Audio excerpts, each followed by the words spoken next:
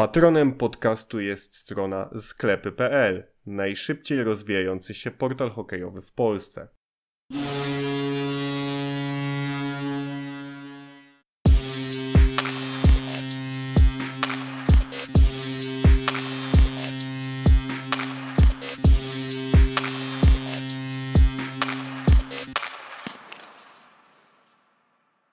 Cześć, z tej strony Konrad. Zanim zaczniemy odcinek, chciałbym Cię poprosić o ocenę naszego podcastu w serwisie Spotify. Pomoże nam to w pozycjonowaniu i dotarciu do nowych słuchaczy. Dzięki. Witajcie w czternastym odcinku naszego podcastu Crosscheck Ice Hockey Podcast. My mówimy o polskim hokeju. Jest ze mną jak zawsze Patryk Paul Dobry wieczór. oraz nasi goście z redakcji z klepy.pl Mateusz Pawlik Dzień dobry. i Kacper Langowski. Cześć wszystkim. E, Porozmawiamy sobie dzisiaj o playoffach, które e, w dniu nagrania jutro się zaczynają, choć nie wiem kiedy zostanie to opublikowane. Natomiast na pewno się zaczynają i w zasadzie bez przedłużania taki temat rozgrzewkowy. Czy obecny sposób wyboru przeciwników jest ciekawym formatem? Czy powinniśmy wrócić do systemu, w którym to pierwsza drużyna po sezonie zasadniczym grała z ostatnią, druga No, z przedostatnią? Ja mam tak pytanie, dalej? czy coś się zmienia? No właśnie miałem też o tym wspomnieć, że w zasadzie nic się nie zmienia, ale jakbyśmy mogli na przykład się zastanowić, czy ten format, y, gdzie to po, po kolei drużyny miejsc 1-4 wybierają sobie y, przeciwników, jest w ogóle jakąś ciekawostką. No To bardziej taki, taki, taki przepis iluzor, iluzoryczny, jakbym mógł powiedzieć. W sumie nie, nie ma... Nikt się tym jakby w klubach chyba tym za bardzo nie interesuje, że, żeby wybrali na przykład kogoś, żeby, no nie wyobrażam sobie, żeby Krakowia miała wziąć na przykład Jastrzębie czy Tychy, no po prostu 1-8, 2-7, 3-6, 4-5 i tak myślę, że nie ma tu większej, nie ma się na czym rozwodzić w sumie, jest to martwy przepis, który został, został tak jako ciekawostka bardziej niż, niż y, jakaś naprawdę ciekawa, ciekawa opcja. Myślę, że to nie ma jakby znaczenia w sumie kto z kim gra i tak czy inaczej, bo żeby wygrać mistrza, no to ka- każda, ten, ten kandydat musi po prostu wygrać z każdym, tak? Ja myślę, że sama idea tego przepisu jest słuszna. E, Na pewno miało gdzieś to na celu wyeliminować jakieś kalkulacje być może tych zespołów z niższych miejsc, e, które chciałyby ze sobą mm, rywalizować.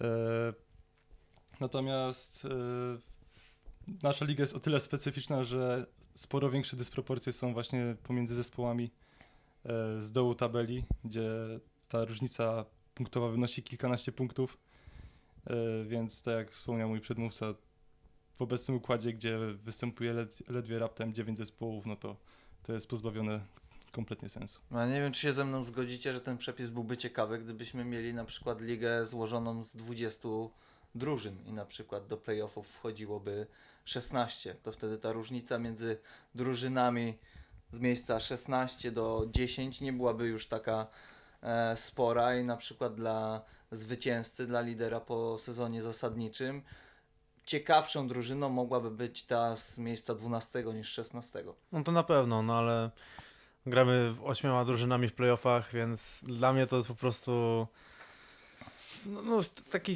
przepis bardziej śmieszny, no bo wątpię, żeby ktoś się pokusił o jakiś zabieg taki na, na tym etapie. Nie no, oczywiście w polskiej lidze to ja się z wami zgadzam w 100%, że to jest W polskiej lidze jest chociażby ciężko znaleźć 20 sprawnych lodowisk, które by obsłużyły zawodowy hokej.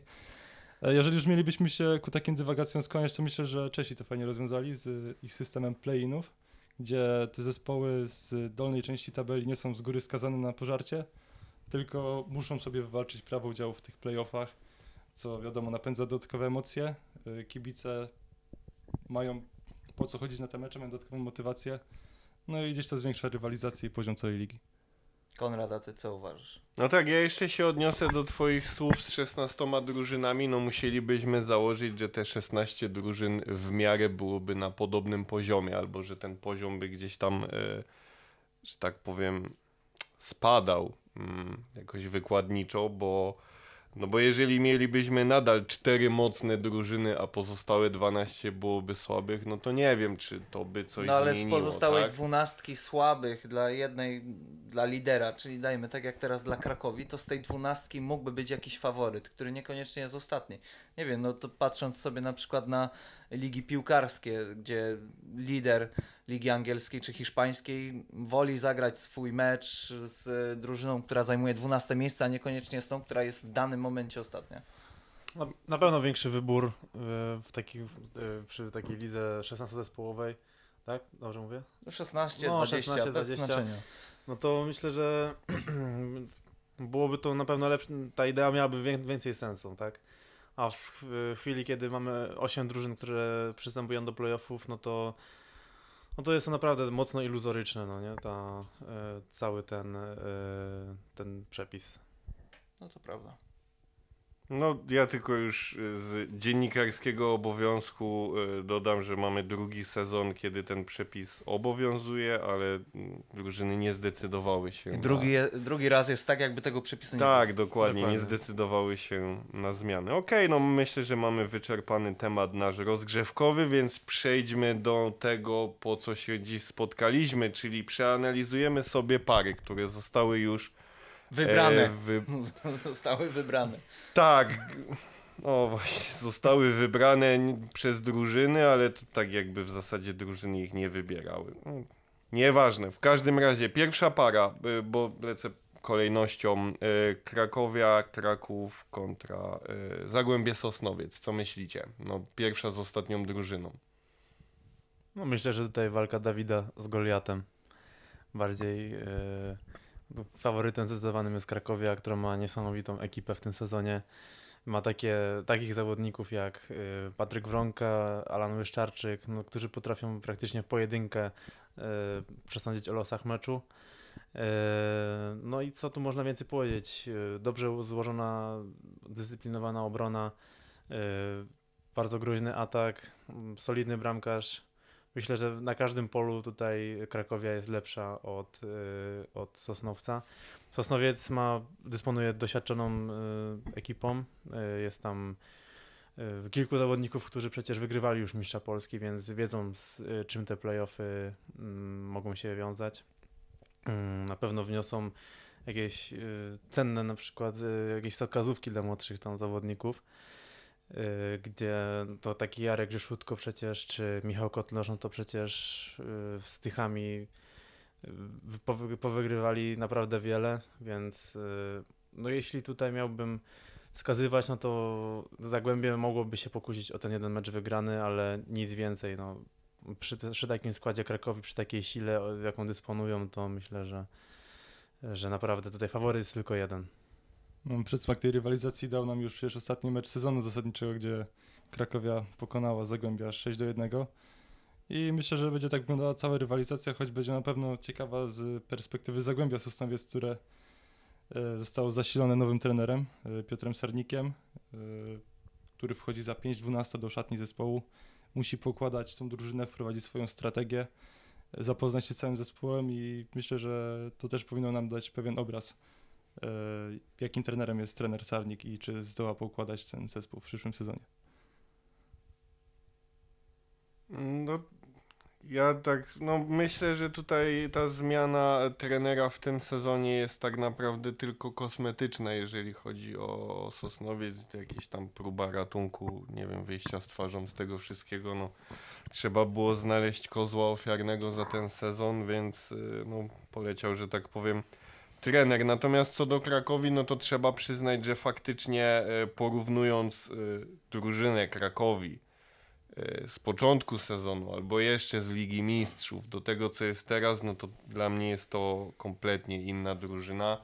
Jest e, obecnie jest poukładana i tak jak już tutaj e, Mateusz wspominał, no bardzo dobrzy gracze. Ja myślę, że tutaj e, nie ma co się więcej rozwodzić, no prawdopodobnie na 99% myślę, że tutaj jeżeli się jakiś kataklizm nie wydarzy, to Krakowia wyjdzie zwycięsko. Może gdzieś tam jeden mecz po drodze stracą, bo w takim dystansie czterech meczy zawsze się wpadka może zdarzyć.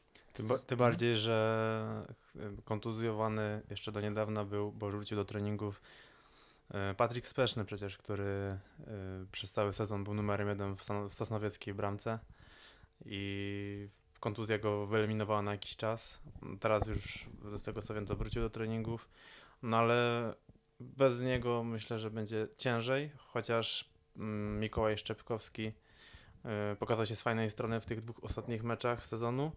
Tak, no, myślę, że mimo tego, że naprawdę talent ma, no to e, wątpię, żeby tak wytrzymał presję, która wiąże się z playoffami. Dlatego Patryk Speszny myślę, że byłby niezbędny właśnie dla tej drużyny. Zależy jak to tam poukłada właśnie trener Sarnik, czy widzi w ogóle jeszcze Spesznego w tym sezonie, czy woli przystąpić do tego playoffu z, ze Szczepkowskim, no nie?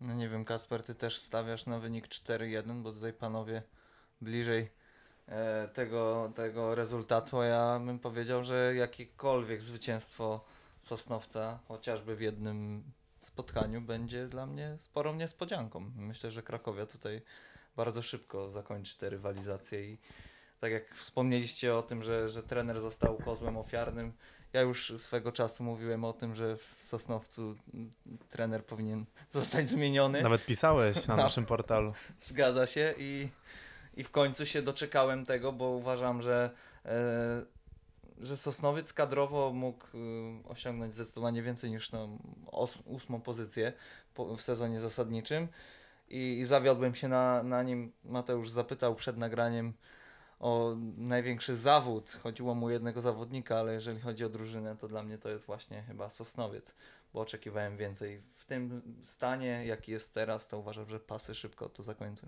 4-0. Mm, Co do zawodu, na pewno mam podobne przemyślenia i też skłaniałbym się ku temu wynikowi 4 do 0. E, wracając jeszcze do trenera, to raczej miałem na myśli to, że trener Sarnik może wywołać dobre wrażenie na całej drużynie e, względem swojego poprzednika i sposobu, w jaki zakończyła się ta cała współpraca, bo to jednak jest bardziej złożony temat. E, Pewnie na więcej informacji, więcej dowiemy się po sezonie. Nie zdziwiłbym się, jeżeli trener Sarnik postawiłby na Szczepkowskiego w tych playoffach. Tym bardziej, że Patryk Speszny pauzował bodajże 5 tygodni, był poza grą. Wracając tak w przeddzień playoffów do treningu, to jednak ciężko jest nadrobić taką pauzę. A sam trener e, Sarnik w rozmowie po meczu mm, ze mną powiedział też, że nie boi się stawiać na młodych i uważa, że, że jeżeli ktoś wykazuje tylko takie predyspozycje, to śmiało na niego postawi. I myślę, że Szczepek może jeszcze liczyć na szansę w tych playoffach. Okej, myślę, że już chyba mamy temat tej pary, brzydko mówiąc, załatwiony, więc przechodzimy do pary kolejnej. Unia Oświęcim kontra Toruń. Co To- myślisz? No, wasze, wasze środowisko. KH Energa Toruń. w Tak, zasadzie. No ja myślę tutaj, Z że... dwóch stron nasze. tak, tak, bo tutaj Konrad na Twitterze opowiedział się za Toruniem. Już wam któryś raz tłumaczę, że no, nie było to opowiedzenie Tak, się tak, tak, konkretnie wiemy. za Toruniem. Ograniczenie ilości znaków. Tak, dokładnie. No, nie no, jest to do tej rywalizacji, to myślę, że tutaj też faworyt jest tylko jeden i jest nim Unia Oświęcim. E, no zdziwiłbym się, gdyby było inaczej, gdyby Toruń e, przeszedł dalej. E, ale myślę, że ten jeden mecz jest w stanie ukłuć. Mm, Przede wszystkim e, co do Unii, no to można tutaj się dopatrywać z ym, przeciętnego bramkarza, gdzie dla mnie Linskuk to wśród tych y, topowych drużyn myślę, że jest najgorszy. Wśród tych nawet top 5, nawet y, jeśli patrząc na właśnie Jastrzębie, no to myślę, że Linskuk jest zdecydowanie najgorszym bramkarzem. Mm, Nawet z obecną formą Mareja? Myślę, że tak. Pytanie, czy Gieksa to wciąż czołowa drużyna? Dla mnie no, są, w czołowej, są w czołowej piątce. Na pewno. To na pewno. Myślę, że Marej e, na playoffy jest w stanie się jeszcze mm, zmotywować, wykazać się e, tą formą, chociaż może nie w 100%, ale tak w 80% do tego, co pokazał w poprze- poprzednich latach. E, Bo on rzeczywiście świetnie sobie radzi z presją. Co pokazał i na Mistrzostwach Świata, i w, kwalifikacjach z kadrą do Igrzysk. W poprzednich playoffach przecież y, bronił fenomenalnie, także tutaj mm, tutaj bym myślę stawiał jednak Mareja nad Lindskugiem. Co do obrony Unii, no to mm, myślę, że jest solidna i nic poza tym. Mm, Jest tam, wiadomo, jest kilku gorszych, jest kilku lepszych zawodników. E, No i co do ataku. Atak ma, jest złożony z trzech mm, bardzo groźnych y, formacji. Czwarty jest y, złożony z kilku wychowanków Unii. E, No wiadomo, że wychowankowie zawsze więcej serca wkładają w grę dla klubu niż y, na przykład zawodnicy z Finlandii czy tam z innego kraju, więc myślę, że Unia tutaj ma cztery solidne formacje. O Toruniu, co można powiedzieć, to że y, fatalne trzy rundy, jakieś tam przebudzenie w czwartej, piątej rundzie. Y, No i pokazali, że mogą, mogą zagrozić tym najlepszym. No ale czy, czy stać ich na wygranie choćby dwóch meczów z Unią, to bardzo bym w to wątpił. Mm, Przede wszystkim bramkarz mm, jest ok, ale nic, nic więcej. E, Obrona jest e, też może, no to jest po prostu przeciętny tak jakby dla mnie zespół.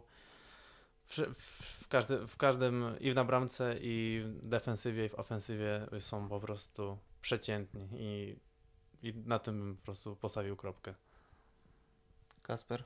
Mm, tak, mogę się zgodzić, że Toruń to bez wątpienia maks, co najwyżej maksymalnie przeciętna drużyna, ale to jest taka wesoła przeciętność, gdzie tak naprawdę nie wiemy czego oczekiwać od tej drużyny, na co ją stać, jaki jest jej prawdziwy potencjał, co Torunianie udowodnili nieraz w tym sezonie.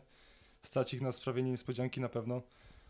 E, też e, promowany przez klub hashtag Twierdza Toruń. No skąd się to jednak wzięło? I myślę, że Toruń śmiało stać na urwanie tego jednego, może przy porywach dobrego wiatru dwóch, meczu, e, dwóch meczów. E, co do Kevina Lindskuga, jeżeli już je mamy brać za analizę, to myślę, że e, słowa Mateusza były troszkę zbyt ostre pod jego adresem. Na pewno jest to bramkarz, który nie ma takiego efektownego stylu bronienia, jak chociażby Tomasz Fuci, który, jak już ustaliliśmy, jest Ma za to efektowne e, bramki z, e, puszczone. No tak, zda, zdarzały mu się e, tak zwane farfocle, ale myślę, Komu że... się nie zdarzały? No tak, właśnie ten sezon jest, jest moim zdaniem jednym z najsłabszych bramkarsko, jeżeli Fucikowi. spojrzymy. Poprzedni... W tym sezonie. Tak. No to tak. E, Ten sezon jest jednym z najsłabszych bramkarsko, jakie pamiętam, od kiedy interesuję się tą dyscypliną. I jedynie Tomasz Fucik może być umieszczony w takiej najwyższej półce. No i też musimy się zastanowić nad e, Kevinem Lindskugiem z tej, e, z tej perspektywy, że kiedy jego trzymiesięczny bodajże kontrakt wygasał, to jednak włodarze zaufali mu, dali mu szansę. Statystyki też go bronią. E, I myślę, że w takich meczach może dać radę. Ja, dla mnie Kevin Lindskog taki mały plusik obok jego nazwiska za to, co pokazał w Pucharze Polski, bo e, nie spodziewałem się tak dobrej postawy e, Lindskoga w tych dwóch meczach. Mecz z Tychami według mnie trochę gorszy od półfinału z Krakowią, ale e, na pewno nie w jego osobie e, wypatrywałbym powodu porażki w finale, tylko w defensywie i w braku skuteczności przede wszystkim, albo też po stronie przeciwnika w postaci Fucika. To na pewno. Więc tak się zastanawiam, czy być może, tak jak Mateusz wspomniał o Mareju, że playoffy mogą spowodować, że ten zacznie bronić jak za dawnych lat, czy tak nie będzie z Lindskugiem, że on po prostu na playoffy stanie na wysokości zadania e, i będzie to mostoją bramki mm, Unii Oświęcim. Ja mam nadzieję, że, że tak właśnie będzie, chociaż no nie spodziewałbym się, że to będzie e, poziom Fucika, tak jak Kacper powiedział, no rzeczywiście ten sezon pod, pod względem bramkarzy, no to tutaj jest Fucik, długo, długo nikt, no i potem reszta się bije o, o tą drugą pozycję. Raz to był Marej na początku, potem Linckuch, tu e, Stojanowicz, no tak co chwilę ktoś inny. E, więc e, jeżeli Fucik po, po tym meczu przerwy nie wróci na, na, na swój swój top, to jestem ciekaw, jak to się będzie dalej, e, dalej rozwijać. No ale w, tutaj w rywalizacji z Toruniem, no ten jeden mecz, myślę, ze względu na daleki wyjazd, to dla Unii pasuje przegrać jedno spotkanie, no bo drugie jest następnego dnia, to już będą spać w Toruniu, to już będzie spokojniej.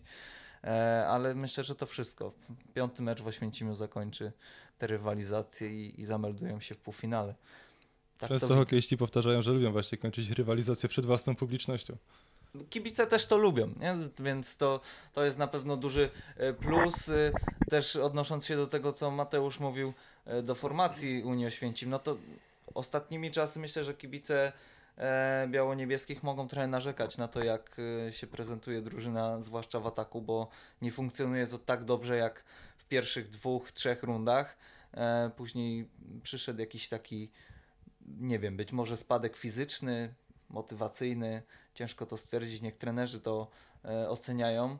E, przyszło też kilka kontuzji, roszad i na przykład ja byłem pod wielkim wrażeniem gry Denyskina, gdy został przeniesiony do pierwszej piątki. Uważam, że tam jest jego miejsce i mam nadzieję, że w playoffach może jeszcze nie z Toruniem, ale już od półfinału e, właśnie Ukrainiec będzie grał w pierwszej piątce, bo e, Aleks Szczechura mi tam nie pasuje w tym sezonie. To nie jest ten poziom, żeby stanowić o sile pierwszej piątki. A co do czwartej piątki Unii Oświęcim, mówiłeś o wychowankach, tam mamy Vanata zazwyczaj, Mhm. e, Sołtysa, no blisko, blisko, ale Ale jeszcze tam czasami jest czasami Dudkiewicz. Dudkiewicz. tak, ale jeżeli cały skład jest, no to tylko e, Dariusz Vanat e, wchodzi, Tomi Lakso i, Tak, e, i Sołtys, Lakso, tak. tak. To mamy No, Tylko, że trójkę Tomilak w chyba się nie grał w ostatnim meczu chyba, o ile dobrze pamiętam. Jest taka szansa, to mi miał kilka problemów, ale to jest Jeszcze taka... Prusak czasami jest rotowany. Tak, tak, ale to ta, Prusak i Dudkiewicz To jest właśnie dla mnie to jest tak, taka, napastników, taka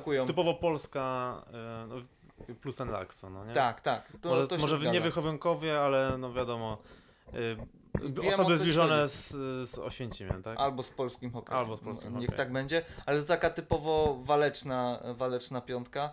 E, mi się bardzo podoba e, to, jak, jak, jak grają, chociaż jest wiele ne- negatywnych głosów na temat Tomiego Lakso, to jest młody zawodnik. Fini mo- można więcej wymagać od zawodników z zagranicy, ale uważam, że też e, brakuje w Polsce zawodników, którzy potrafią pogodzić się z rolą takiego e, gracza od czarnej roboty, a dla mnie właśnie Tomi Lakso kimś, kimś takim jest.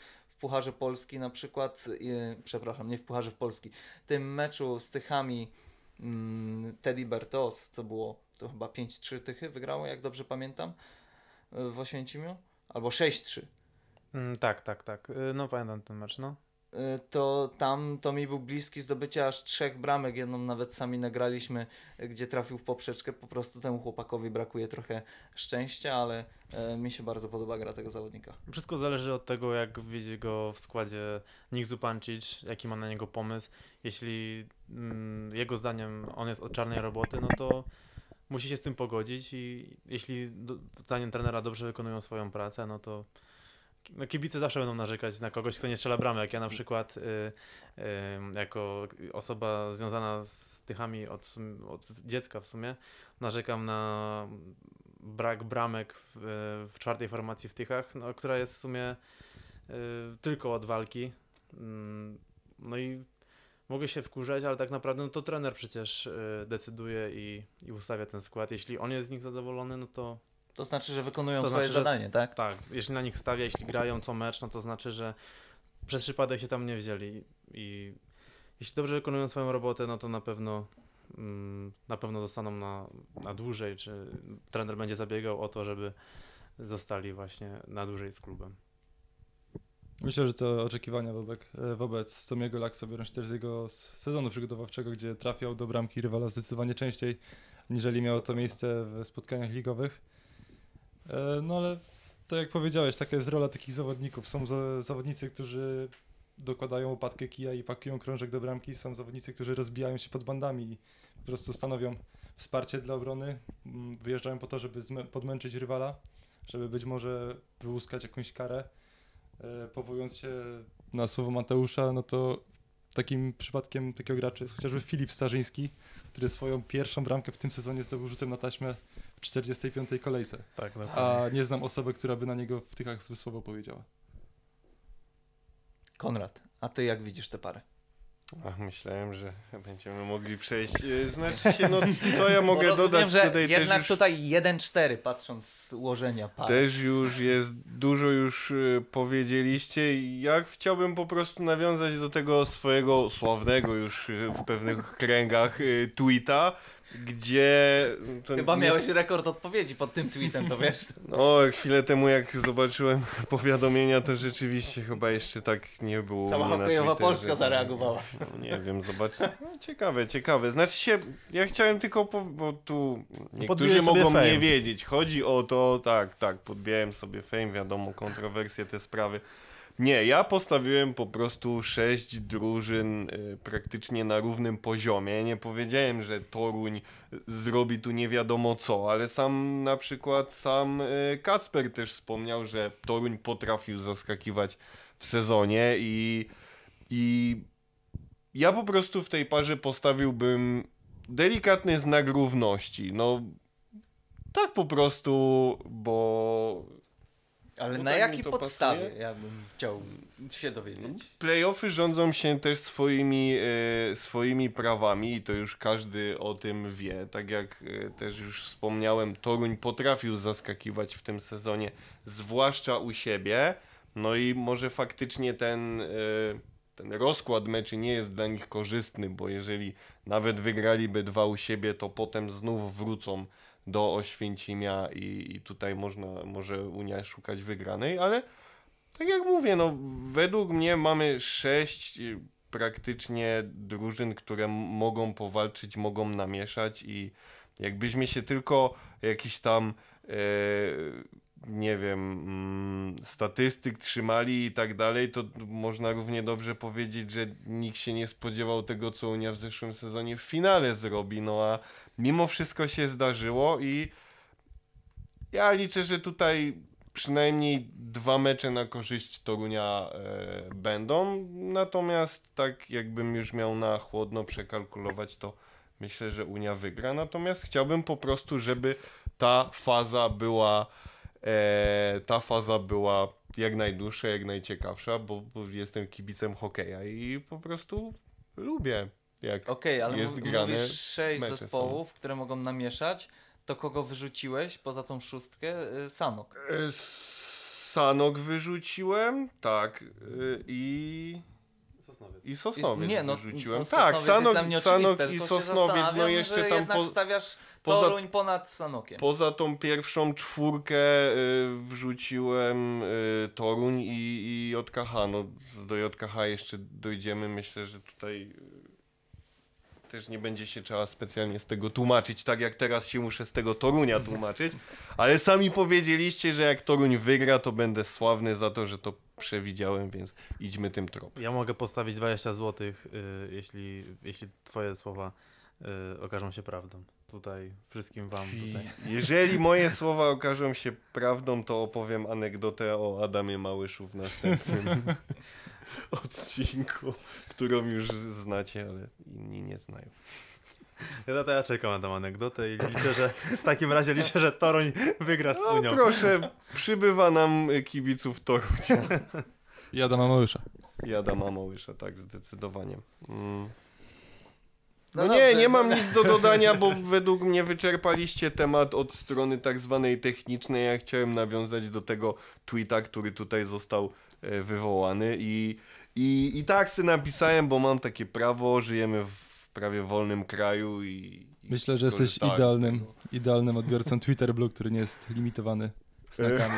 tak, Wtedy tak, możesz w tak, pełni tak, wyrażać tak. swoje Nie, myśli no bez bo tu rzeczywiście chciałem się trochę rozwinąć, jest mało znaków, a jeszcze też, Jeszcze w pracy byłeś. no, dokładnie, No. dokładnie. Tutaj brakło po prostu. Czyli no, ostatecznie, no nie były to Jaki odpowiednie. wynik ostatecznie? Yy, 2-4, czy 4-2 dla Unii w tej parze. A, dla Unii. 4-2 dla Unii. Nie, że w mecz. Nie, nie, nie, nie, nie, dobrze. Myślałem właśnie, że 4-2 dla Torunia. Ja i też tak pomyślałem, Już że 4-2 dla Się Torunia. przestraszyłem. Bo widziałem, że już mnie bić miałeś. Za Ja to mam herezję. scyzoryk. Okej, dobra, następna para, Tychy Sanok. Tutaj Sanok już jest poza moją y, szóstką, Mhm. więc Dlaczego? dlaczego? No, no bo po prostu nie Twoje widzę... zdanie. No nie wydaje mi się, żeby ta drużyna z Tychami była w stanie wygrać. No. Ale playoffy rządzą się swoimi prawami. Playoffy rządzą się swoimi prawami, ale nie aż tak. Okej. Nie, po, no Czyli twierdzisz, że druga drużyna zasadnicza jest prawie na równi z siódmą, ale trzecia z szóstą już nie. tak. Czy problem?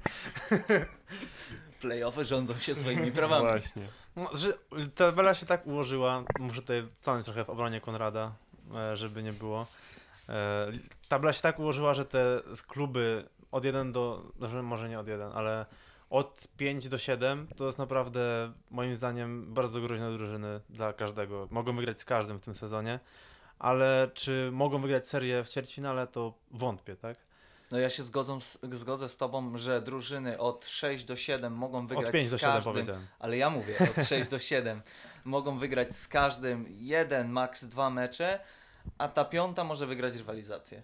No, tak, ale do tego jeszcze przejdziemy. Ja się. tylko przypomnę, że w przedsezonowych predykcjach postawiliście KH Toruń wyżej niż JKH GKS Jastrzębie. Nie wierzyłem w Jastrzębie w tym sezonie, muszę Więc- się do tego I przyznać. u mnie dlatego Więc- są w tej szóstce. Więc to poniekąd wiem, dlaczego ich bronisz. Reszta się będzie tłumaczyć w, no, już w podsumowaniu e, sezonu, na który jeszcze przyjdzie czas. Wszyscy zostaniemy rozliczeni Tak, za dokładnie. słowa.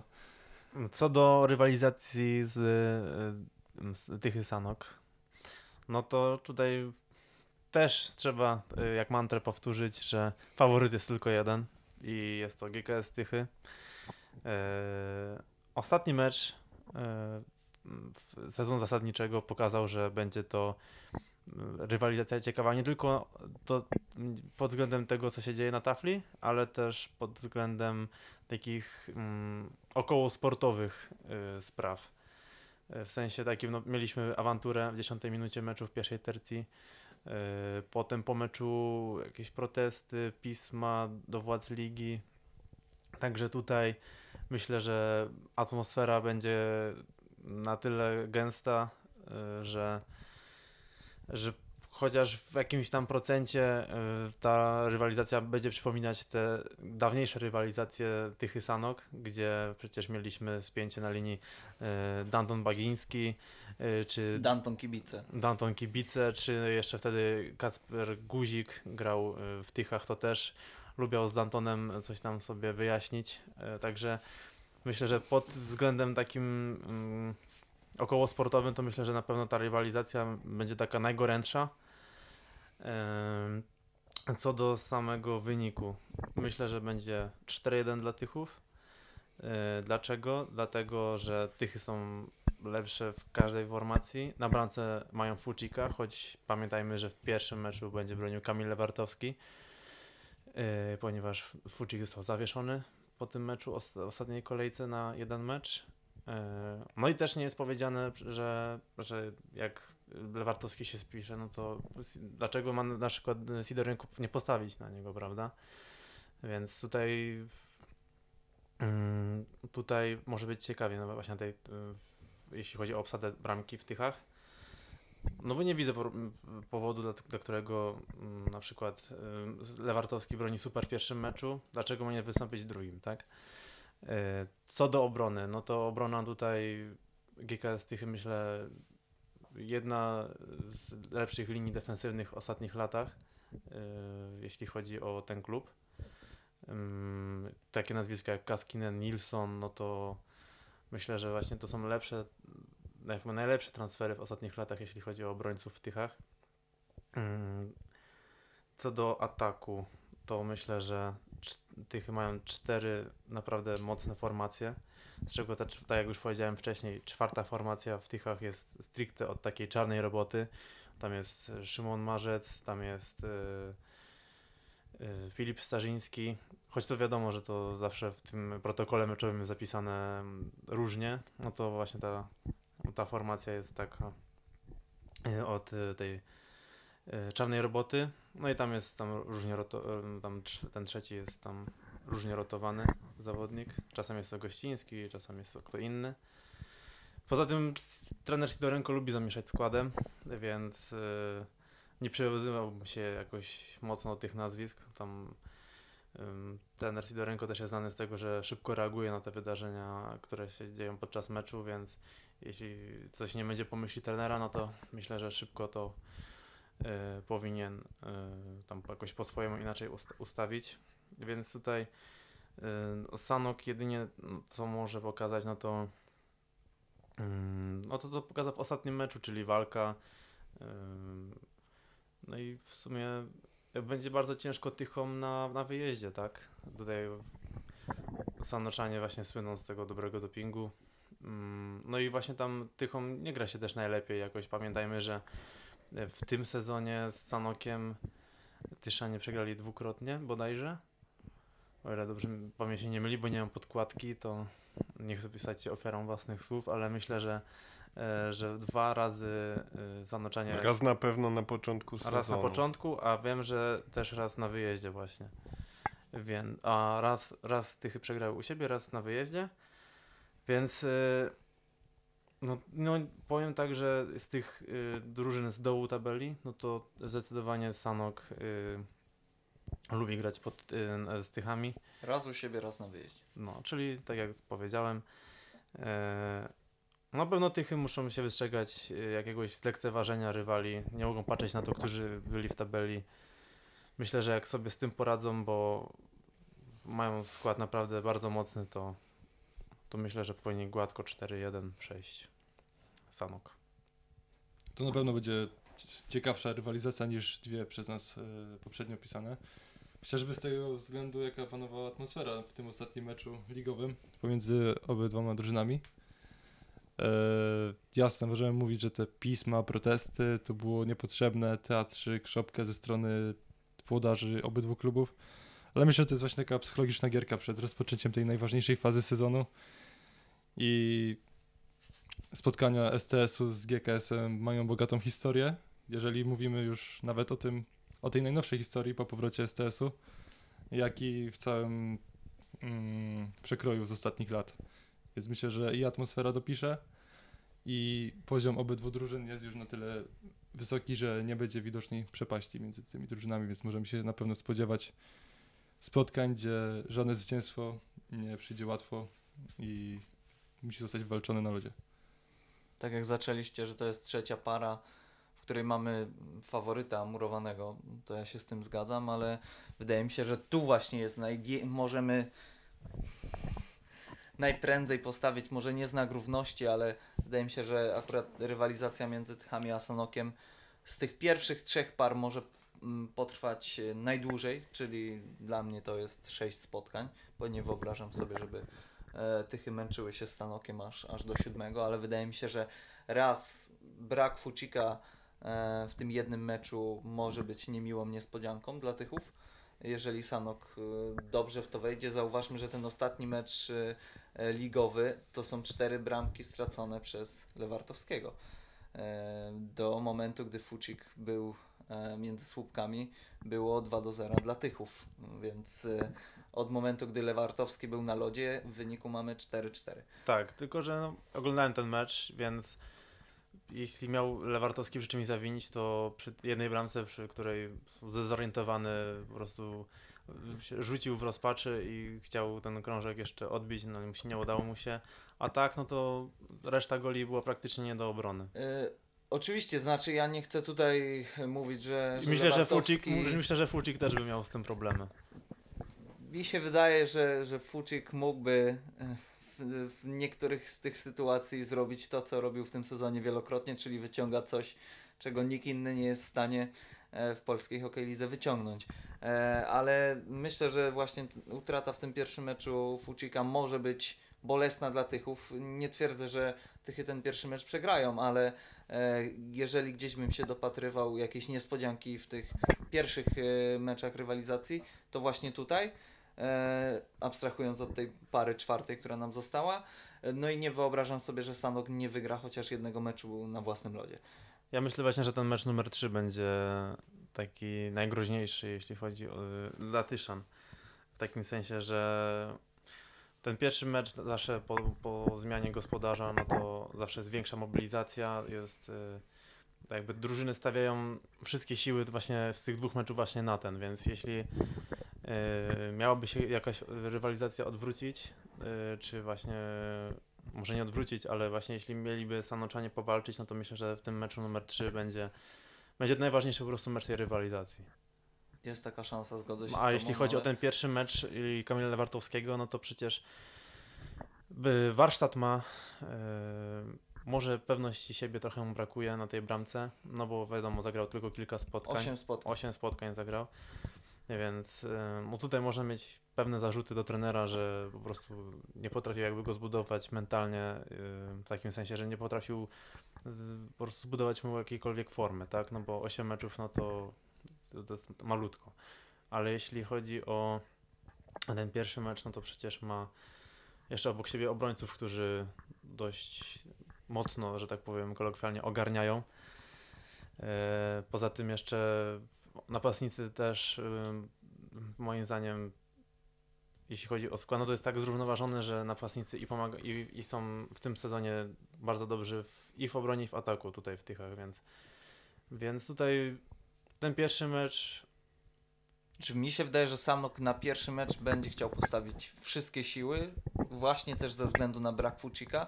I tak jak mówisz, że Lewartowski jest w stanie utrzymać ten sam poziom, bądź podobny, może troszkę niższy. Oczywiście ja się z tym zgadzam, ale sama świadomość, że nie ma tego najlepszego bramkarza w drużynie przeciwnej, daje ci e, kopa motywacyjnego Może tak, przeciwnej. Może tak, ale y, zawsze jak jest właśnie jakieś wykluczenie jakiegoś kluczowego, y, kluczowego zawodnika, to albo się mówi, że na przykład o, ta drużyna gra tylko na trzy formacje, no to dzisiaj stawiamy na nich, tak? No to zwykle ta drużyna jest albo o krok od sensacji, albo tą sensację właśnie robi, więc y, tutaj postawa, posta, postać bramkarza myślę, że tutaj będzie mm, miała najmniej, jakby najmniejsze Najmniejsze znaczenie. Y, w tym, bo wiadomo, dominować przez cały mecz będą tychy i to w sumie zależy od tego, jak sobie poradzą napastnicy. Wiadomo, szwank, y, szwankowała skuteczność w ostatnich meczach sezonu. W tym ostatnim meczu sezonu właśnie z Sanokiem się wystrzelali i może po prostu się otworzyli niektórzy, może Może się odblokowało. może się odblokowali gdzieś tam mentalnie i jeśli miałbym właśnie mm, patrzeć na jakiś decydujący czynnik, to właśnie skuteczność i to, jak sobie poradzą Tyszanie pod bramką Sanoka. A nie wiem, czy się ze mną zgodzicie, bo według mnie e, Tychy taki pik swojej formy miał pod koniec e, roku minionego Mhm. i to jak prezentują się w tej chwili, to jest troszkę gorsza gra niż e, e, no, przerwa świąteczna, czyli Puchar Polski i to, co było przed. Na pewno, no, na pewno też yy, mm, na pewno też było tak, że ta, ta przerwa na kadrę też sporo zaszkodziła Tychom, bo wiadomo tam yy, mecz przegrany z Jastrzębiem yy, kompletnie nie wyszedł, znaczy kompletnie.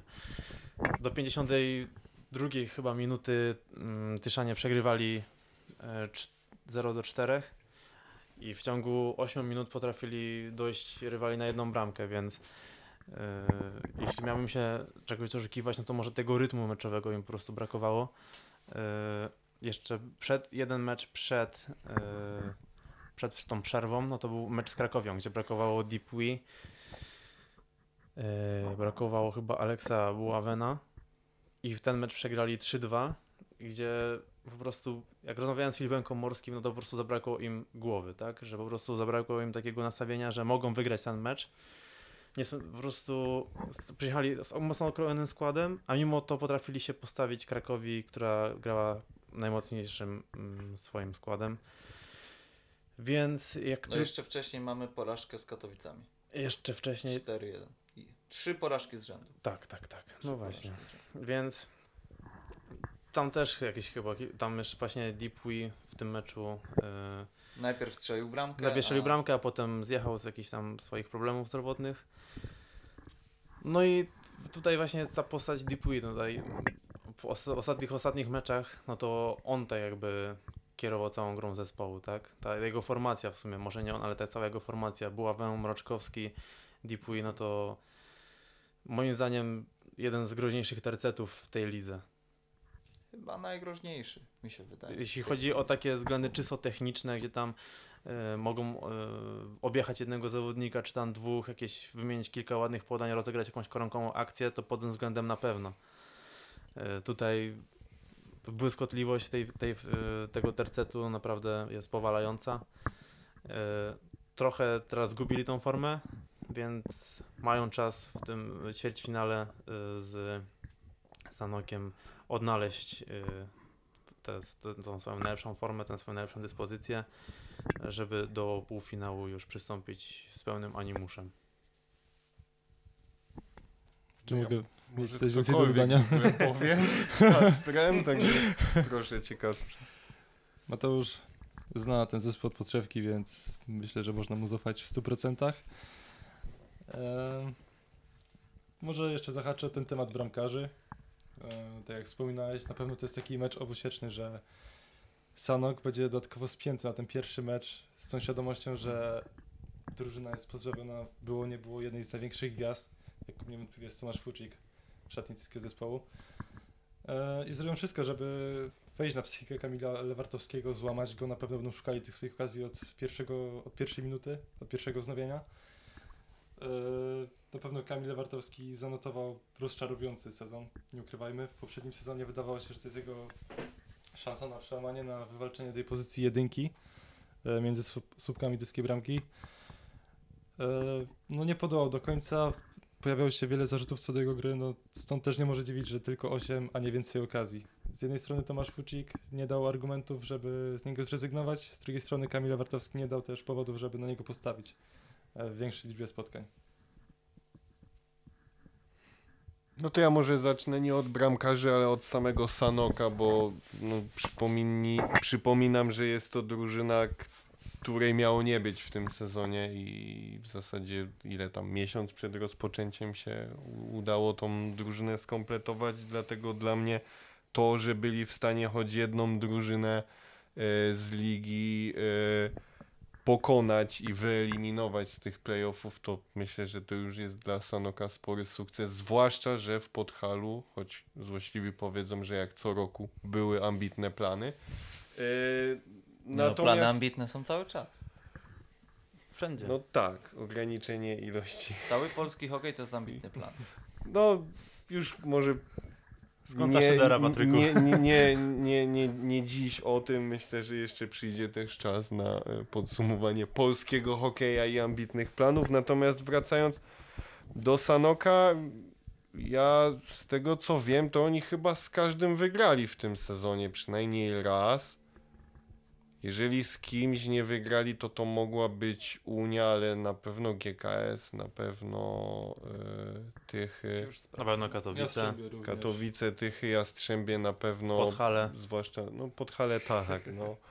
Yy, Toruń, no obstawiam, że jeżeli ktokolwiek z nimi nie przegrał, to to będzie Unia i Krakowia, bo tam nie kojarzę tak jednoznacznie. W każdym razie chodzi mi o to, że potrafią wygrać z każdym yy, i, i tak jak sami mówiliście, ten pierwszy mecz będzie decydujący, no bo na pewno będą chcieli wykorzystać yy, to, że nie ma Nie wygrali z Krakowem i Unią tylko. No, to ka- proszę zobaczyć, jak, jakiego mamy eksperta tutaj. A, Konrada.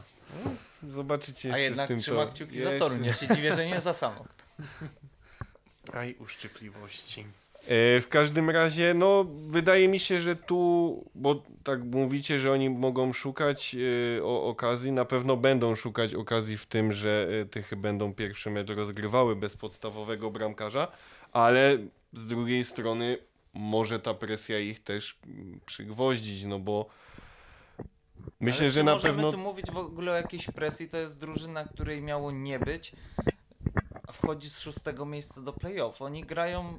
No to już jest kwestia... Każde zwycięstwo to już jest sukces w tym To sezonie. już tak, jest no ale- kwestia drużyny, tego z jakim nastawieniem wyjdą. No, czasem się tak zdarza, że chcesz za bardzo i nic z tego nie wychodzi. Oni też mogą chcieć tak e, za bardzo. Z drugiej strony jeszcze się odniosę do tego, co mówiłeś, Patryku, o, o Tychach i o tym, że oni już zwyżkę formy mieli e, w grudniu, teraz trochę obniżyli.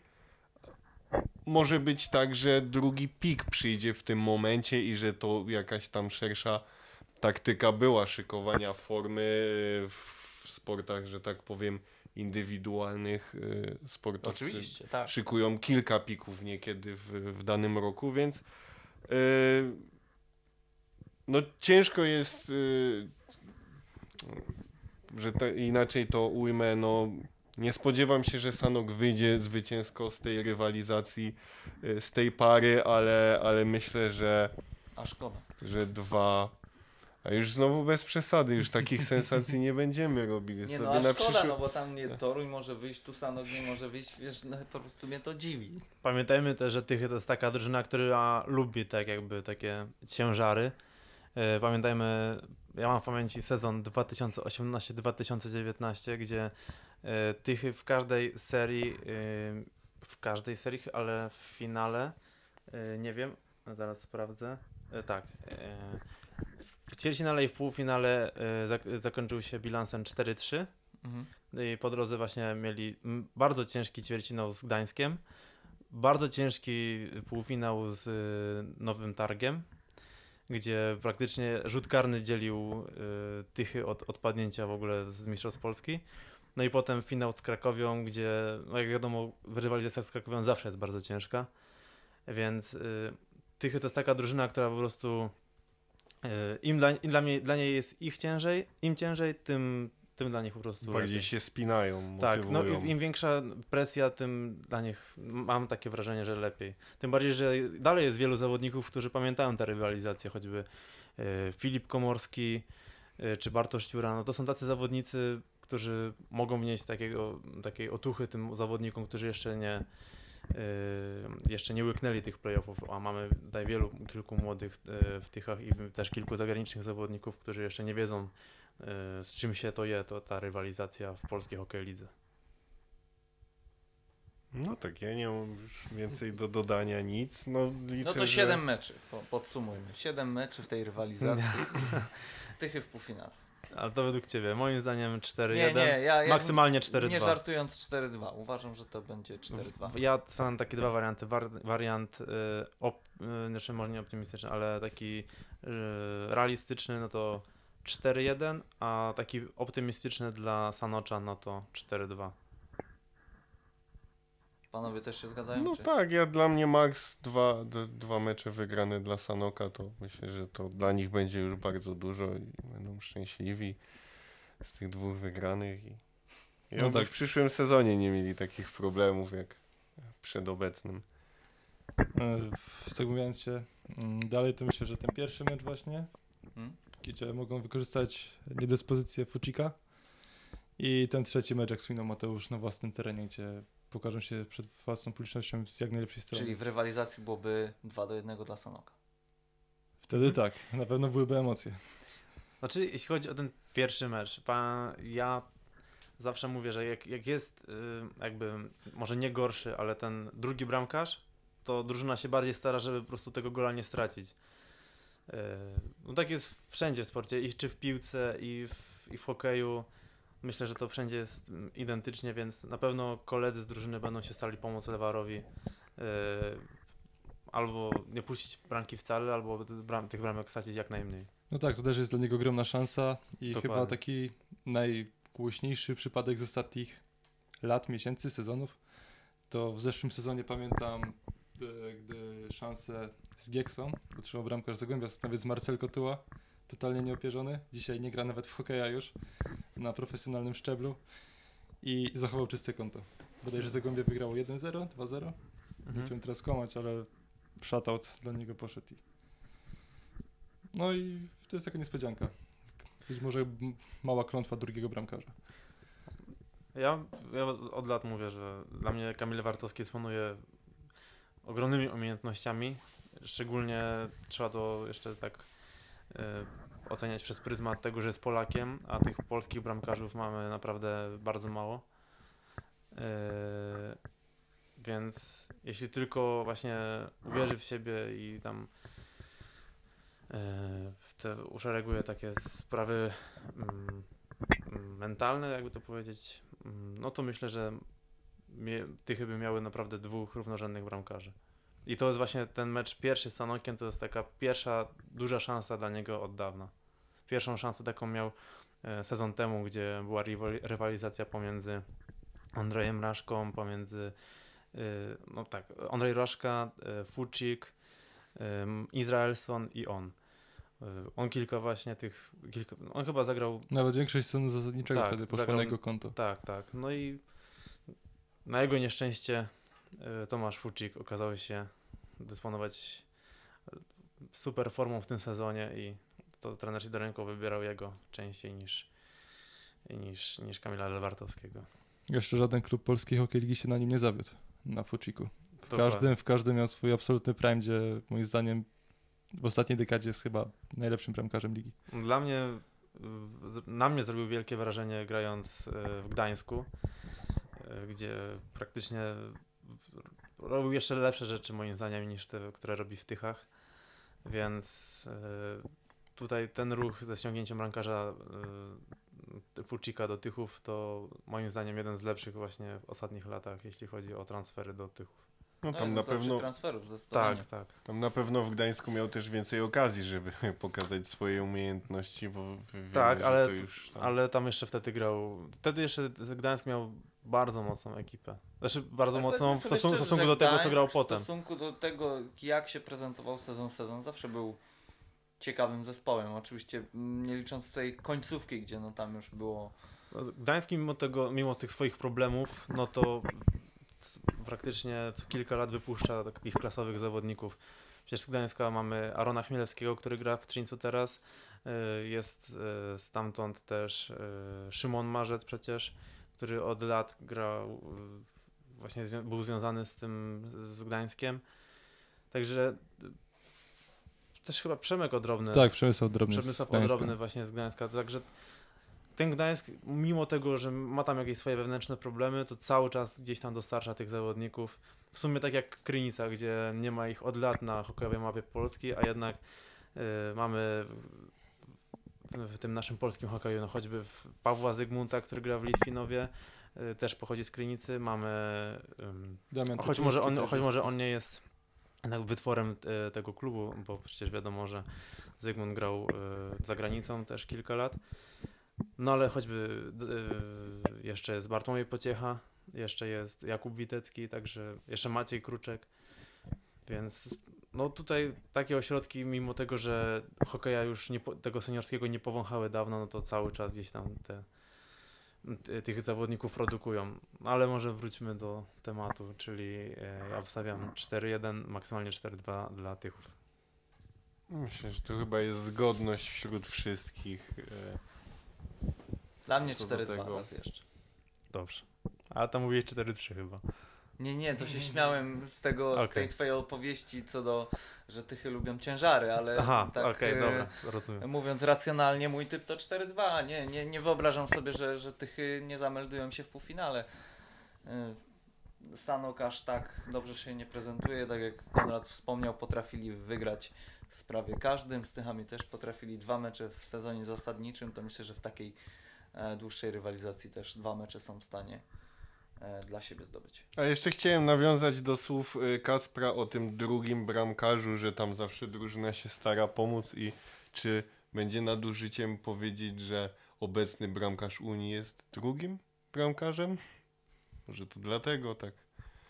Zależy, którego uznajesz za pierwszego, a którego za drugiego. No pierwszy był y, pierwszy był tylko przez sześć. Ale y, wtedy jeszcze nie było Kevina, No, więc Nie, tak luźno rzuciłem. Okej, kończmy y, tą parę i przejdźmy do ostatniej, chyba najbardziej wyrównanej, przynajmniej y, w moim chciałby odczuciu. człowiek, żeby wszystkie cztery pary były tak wyrównane jak, jak ta jedna. Jeżeli mielibyśmy mocną Krynicę, mocny Gdańsk, mocną Polonię Bytom, już takie projekty jak Orlik Opole, no Opole. to co roku byśmy żyli takimi emo- emocjami i to w każdej parze. GKS Katowice kontra JKH Jastrzębie Zdrój. No i słucham Państwa. E, faworytem dla mnie e, JK HGK z Jastrzębie. Na dzisiaj tak. Na dzisiaj? E, jeśli chodzi o bramkarzy, porównanie, no to Balisz y, zanotował chyba najwięcej czystych kąt Tak. y, w polskiej hokej lidze. E, Marej y, miał swój pik formy na początku sezonu w Lidze Mistrzów. Potem gdzieś to gdzieś tą formę zatracił. No i tak jak mówiłem, że Marej lubi mieć taki swój pik formy właśnie na playoffy, tak teraz muszę mm, jakby dopowiedzieć, że gdzieś tą formę po drodze musiałby też zbierać, a nie było ku temu żadnych przesłanek, y, żeby mm, jakimś gołym okiem widać, że ta forma zwyżkuje. Myślę, że to jest ten, cały czas ten sam taki przeciętny poziom, gdzie po prostu więcej się oczekuje po bramkarzu z takim bagażem doświadczeń. Jeśli chodzi o obronę, no to e, Robert Kalaber e, uwielbia taką właśnie zdyscyplinowaną grę, mocno z tyłu, e, więc tutaj wśród obrońców, no to myślę, że tutaj na taki lekką przewagę w tej, w tej formacji ma, mają Jastrzębianie. Mm, Tym bardziej, że Katowiczanie ostatnio tracą bardzo dużo bramek. E, No i też trzeba powiedzieć o tym, że w ataku Katowiczanie mają dwie mocne formacje, a tak naprawdę w Jastrzębiu mamy cztery, może, trzy, może cztery takie, może nie super formacje, ale naprawdę wyrównane, takie zrównoważone, gdzie tam ni- nikt się za bardzo nie wyróżnia, nie ma jakiejś super gwiazdy. Ten zespół jest po prostu, jakby jednym słowem, jak można ująć Jastrzębie, to y, taka, właśnie takie zrównoważenie. Y, Trzeba też powiedzieć sobie o tym, co Gieksa zrobiła na, począt- na, końcu raczej sezonu zasadniczego, gdzie miała praktycznie trzecie miejsce na wyciągnięcie ręki. W ostatnim meczu przegrała z... Nie, wygrała, ale po dogrywce, tak?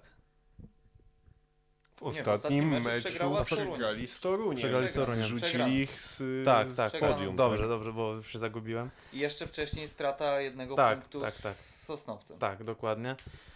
Tak, y, bo wtedy miałem takie problemy z laptopem, gdzie po prostu, no już się zagubiłem po prostu teraz. Ale warto dodać, że w ogóle ta, e, ostatnie cztery kolejki Katowic e, to jest tak, lecę od tej najdawniejszej. Mhm. Porażka z Sanokiem w Sanoku, potem zwycięstwo z Podhalem 8 do 0, Mhm. zwycięstwo z Sosnowcem 3-2, e, m, tutaj za dwa punkty i porażka z jednym punkcikiem e, w Toruniu. Czyli de facto w tych czterech kolejkach mierzyli się z czteroma najsłabszymi drużynami. Tak, no i tutaj warto właśnie ten, też wspomnieć o tym takim e, wyścigu ślimaków o to trzecie miejsce. Tychy miały taki gorszy okres, Katowiczanie mieli taki gorszy okres.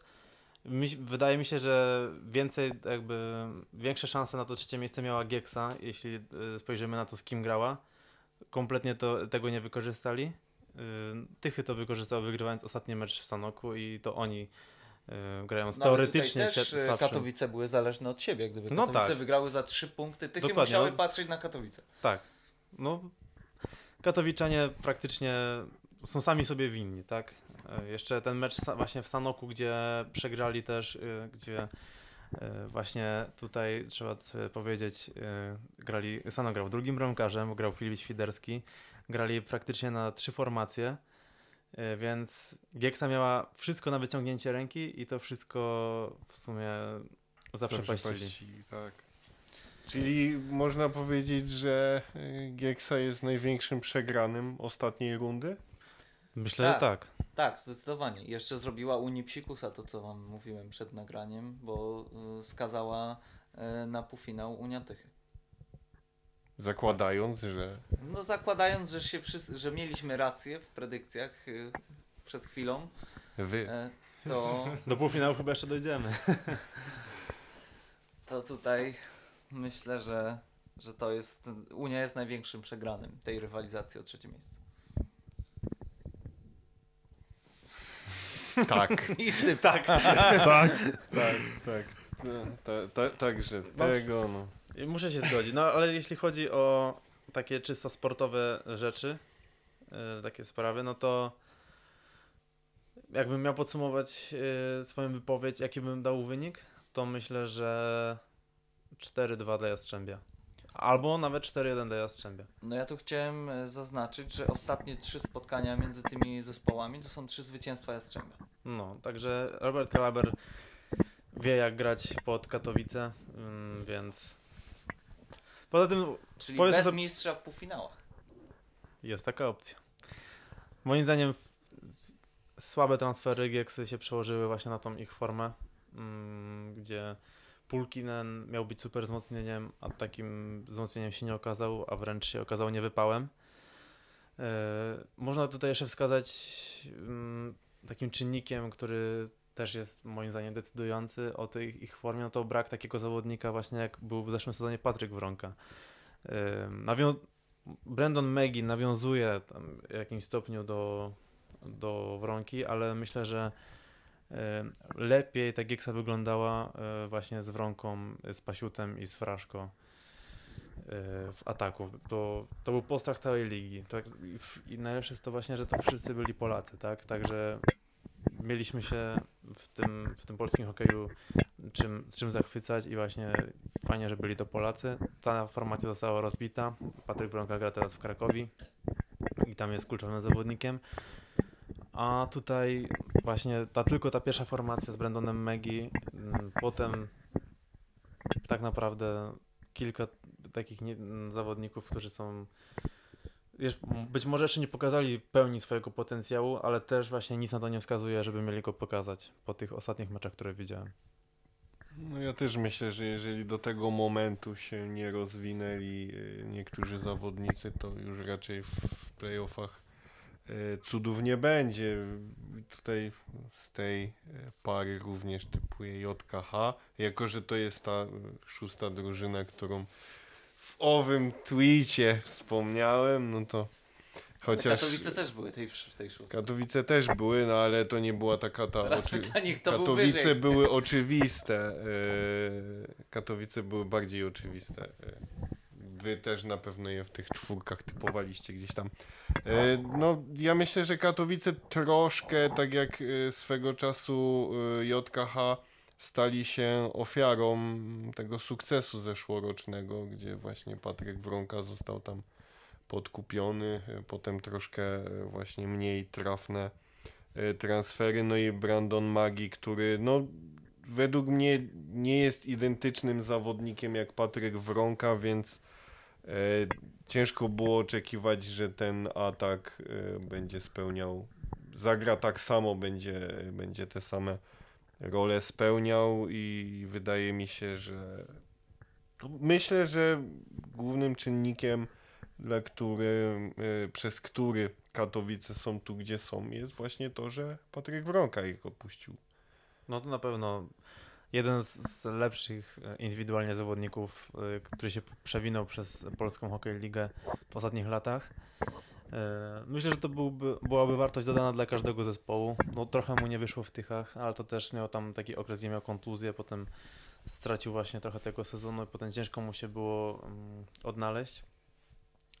No ale tak, jeśli, no to jak spojrzymy na formę Patryka Wronki w ostatnich latach, no to praktycznie nigdzie nie zawodził. Tak. Czy to, był, czy to była gra w Podhalu, czy właśnie w Katowicach, czy w Krakowie, no to wszędzie dawał z siebie y, więcej nawet niż od niego oczekiwano tak naprawdę. Nie wyszła mu ta kariera zagraniczna, no ale właśnie fajnie, że można iść na mecz i sobie kogoś takiego obejrzeć, który y, takiego zawodnika, który właśnie ma taką technikę i ma dobry przegląd pola i potrafi oddać mm, groźny strzał. Także tylko się cieszyć, że ma takiego zawodnika w lidze. Cieszy się pewnie też Krakowia, że ma takiego zawodnika w zespole, a smuci się Gieksa, która po prostu straciła ogromną wartość w ataku. Mm, Siłą rzeczy JKH, GKS Jastrzębie i GKS Katowice to dwie ekipy, które mam przyjemność najczęściej oglądać w ostatnich latach. E, Mam też kilka przemyśleń na temat e, występów tych zespołów. E, Rozpocznę może od tej ekipy skazywanej na porażkę, pomimo tego paradoksu, że zajęła miejsce wyżej, czyli GKS-u Katowice. E, Konrad wspomniał, że Gieksa padł ofiarą swojego sukcesu. Jest w tym ziarnko prawdy w, przede wszystkim w tym temacie, że pod tym kątem, że patrząc na występy Gieksy, czy ich styl, taktykę, strategię trenera Płachty, wydaje mi się, że Gieksa uprawia ten sam hokej od poprzedniego sezonu. Coś, co wypaliło w poprzednim sezonie, niekoniecznie funkcjonuje już w tym. I czy osoba Patryka Wronki miałaby, miałaby w tym mm, kontekście jakie, jakiekolwiek znaczenie? Wydaje mi się, że Brandon Magi bardzo dobrze wywiązuje się z tej roli. Mm, Ale nie jest Patrykiem Wronką. nie jest Patrykiem Wronką, i, ale też Gieksa z tego sezonu nie jest Gieksą z poprzedniego sezonu. I mówimy tutaj oczywiście czysto o wynikach, bo jeżeli spojrzymy na występy Katowiczan, mm, chociażby w Pucharze Polski, to tak naprawdę nie byli o wiele gorszym zespołem od GKS-u Tychy, gdzie niejednokrotnie zagrozili bramce. Wydaje mi się, że nawet Fuczyka. prezentowali się lepiej. Też e, No bym tak. powiedział, że Były- tam więcej były- klarownych sytuacji było i tutaj ten bramkarz znowu I bramkarz, ale też kilka takich y, momentów, gdzie po prostu brakowało tej skuteczności tam. No właśnie, Tomasz Fuczyk bronił jedynie dla GKS-u Tychy, a patrząc na szczególnie z czoł- starcia z czołówką, to Gieksie brakuje takiej determinacji, skuteczności przed bramką. Być może pomysłu na te takie ostatnie podanie, które otwiera drogę do bramki. E, naprawdę, Gieksa dominował w masie spotkań, nie przełożyło się to na wyniki i tak jak przytoczyłeś na statystykę, jesteśmy w takim punkcie, że tracą punkty nawet z tymi zespołami z dołu tabeli, gdzie mają problem sforsować bramkarza, więc myślę, że ten schemat gry został gdzieś już odczytany, przeczytany, rozszyfrowany przez rywali i Gieksa stoi naprawdę przed sporymi kłopotami w obliczu tych playoffów. Z drugiej strony JKH GKS Jastrzębie e, na pewno nie jest to drużyna, która nam imponowała taką ofensywną skutecznością, swobodą jak dwa sezony temu. Wpływ na to na pewno ma rynek transferowy, finanse klubu, gdzie jednak y, Jastrzębianom ciężko nawiązać rywalizację z tą czołową czwórką, która szasna zdecydowanie dużo większymi kwotami na indywidualne transfery. W tym miejscu mm, chciałbym pochwalić włodarzy za być może takie nawrócenie się. Yy, Wspominałem chyba nawet o tym w naszych predykcjach, że nie jestem fanem Witalisa Pawlowsa. Podziękowano mu już po pierwszym meczu w sezonie i na pewno wpływ na to miała atmosfera w szatni. Wydaje mi się, że mogło dojść nawet do jakiegoś konfliktu na linii trener-zawodnik, że nie otrzymał drugiej szansy.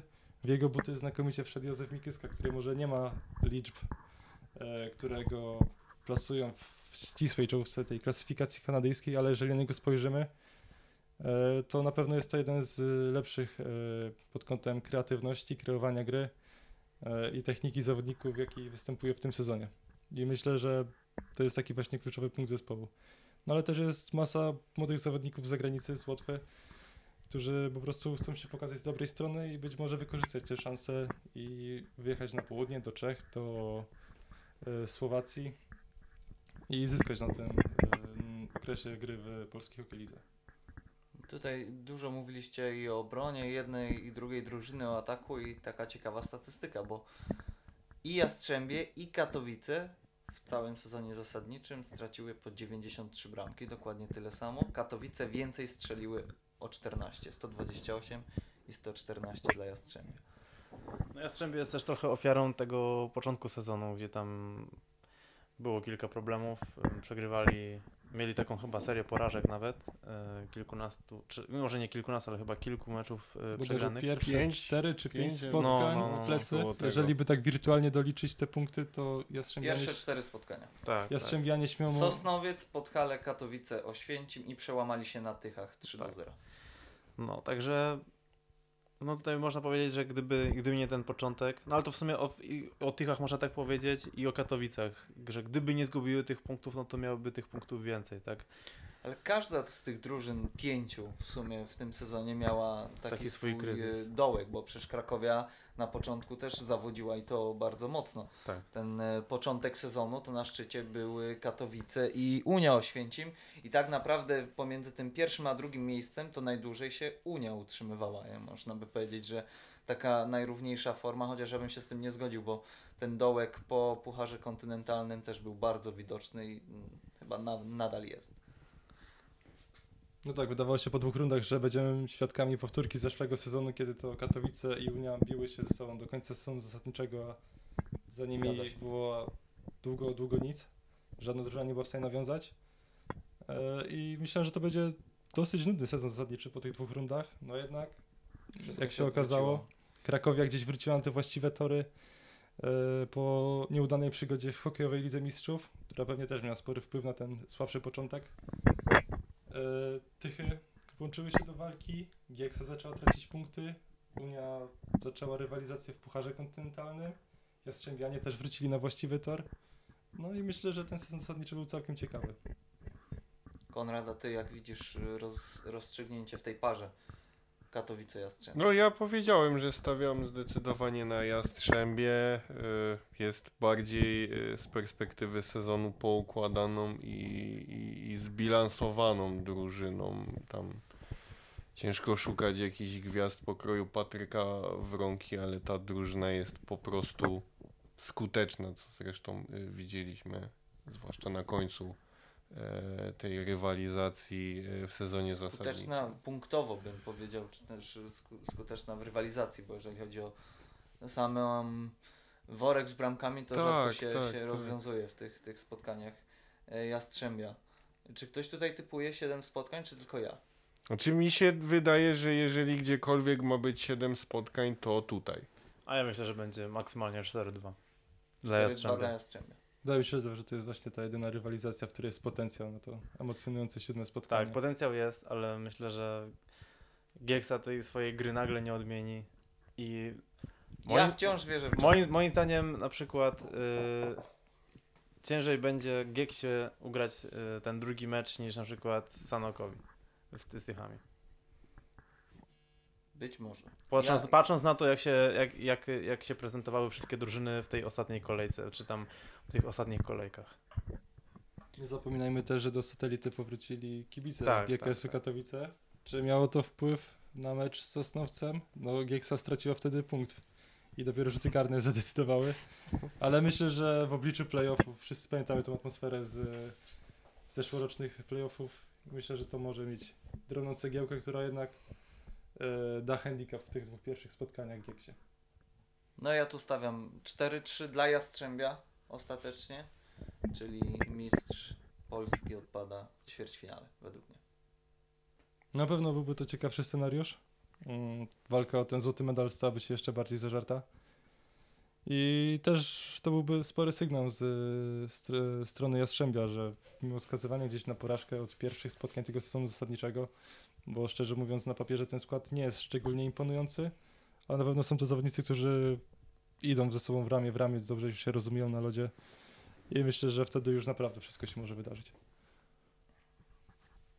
Ja nie mam nic do dodania. Myślę, że powoli możemy kończyć e, temat samych e, par i znów taki przerywnik dla rozluźnienia, a mianowicie e, faza zasadnicza, która tak naprawdę mm, na ten moment e, wyłącza z gry w playoffach jedną drużynę, bo pojawiają się takie głosy, że w sumie po co grać fazę zasadniczą, skoro i tak wszystkie, e, w tym momencie prawie wszystkie drużyny e, grają w playoffach, e, może od razu zagrać e, playoffy, a gdzieś tam w czas zaoszczędzony i środki przeznaczyć, nie wiem, na szukanie jakichś zagranicznych sparingów, czy coś w ten, e, coś w tym, coś w ten deseń. Może na przykład e, rozbudowanie e, Pucharu Polski, dołączenie pierwszej ligi do rozgrywek Pucharu Polski kosztem skrócenia fazy zasadniczej mistrzostw. Mm, Nie wiem, co myślicie? No ja mówię, że 8 drużyn i ta jedna eliminowana y, przez ten sezon, no to tak praktycznie ten sezon jest o nic, tak? No bo wiadomo, no bić się będą te drużyny y, z pierwszej tam piątki, a te trzy ostatnie, no to będą tak jakby tylko tłem dla tej ligi. Przydałyby się jakieś, moim zdaniem, przynajmniej 12 zespołów, y, może nie na jakimś super równym poziomie, ale żeby chociaż to były takie zespoły, te trzy, które miałyby dojść na takim poziomie właśnie jak Toruń, jak e, Sanok, żeby po prostu dodać więcej kolorytu tej lidze, a tak no to odpada Podhale, które cały sezon praktycznie nie potrafi wygrać meczu, E, No i potem mamy Sosnowiec ze swoimi problemami, z, też z seriami porażek. To jeśli tutaj, tutaj mają pole do popisu włodarze Polskiej Hokej Ligi, jeśli chodzi o jakieś reformy, mm, bo myślę, No, że... mamy reformy w systemie e, doboru przeciwników w playoffa. No, ale mówimy o poważnych reformach, a nie o y, wydmuszkach, tak?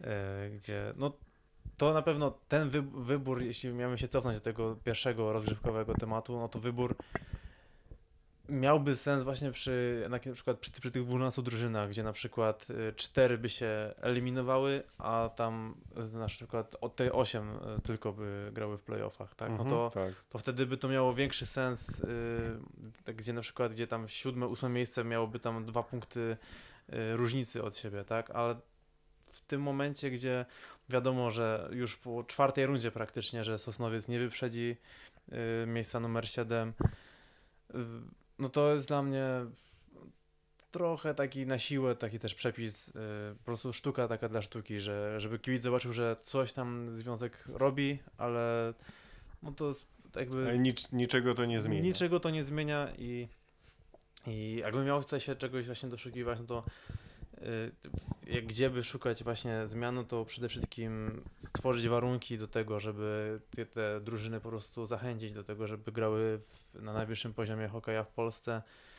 Y, Myślę też właśnie, żeby ten Puchar Polski był bardziej rozbudowany, y, żeby grały nie tylko tam cztery drużyny, tylko żeby po prostu jakby więcej ośrodków mogło wziąć w tym udział. No, pomysłów jest myślę, że dużo. Jest, y, jest na to jakaś tam metoda, żeby ten y, polski hokej w jakimś kierunku pchnąć.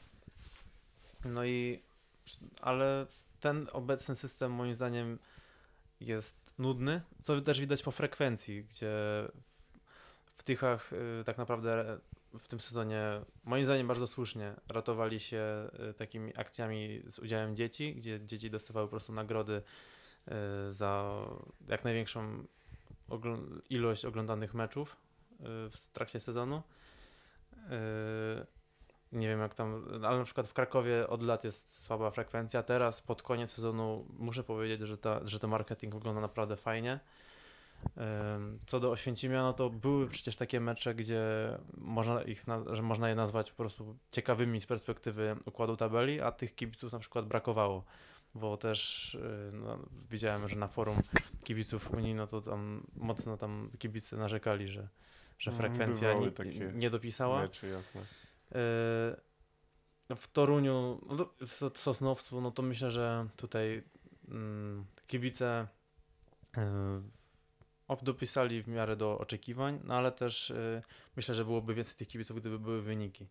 Także myślę, że więcej drużyn spowodowałoby to, że po prostu 8 drużyn wchodzi, 4 odpada, 4 drużyny odpadają. Wtedy jest jakaś ciekawsza liga z perspektywy kibica. Jest na co chodzić, jest czym się emocjonować.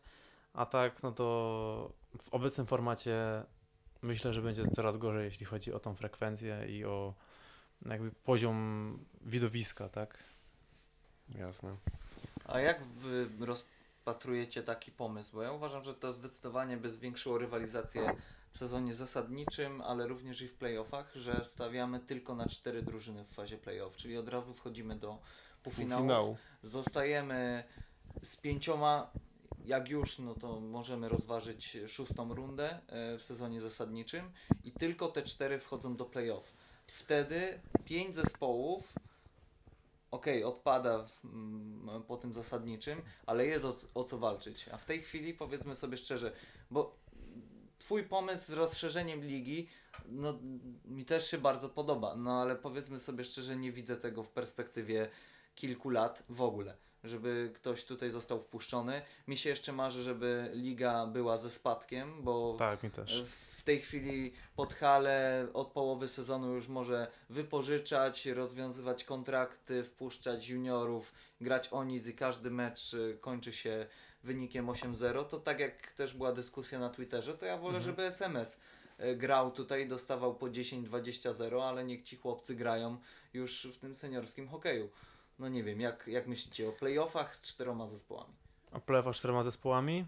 To myślę, że byłby taki bardziej rozbudowany Puchar Polski, tylko z większą ilością meczów po prostu. No ale na przykład, no Nie mówię, że to nie byłoby O, ciekawe. o właśnie, o to mi chodzi. Czy, czy, E, czy tylko po prostu dla taka mnie forma. Puchar Polski jest bardzo ciekawy e, i o wiele bardziej emocjonujący niż to, co się dzieje przez cały sezon zasadniczy.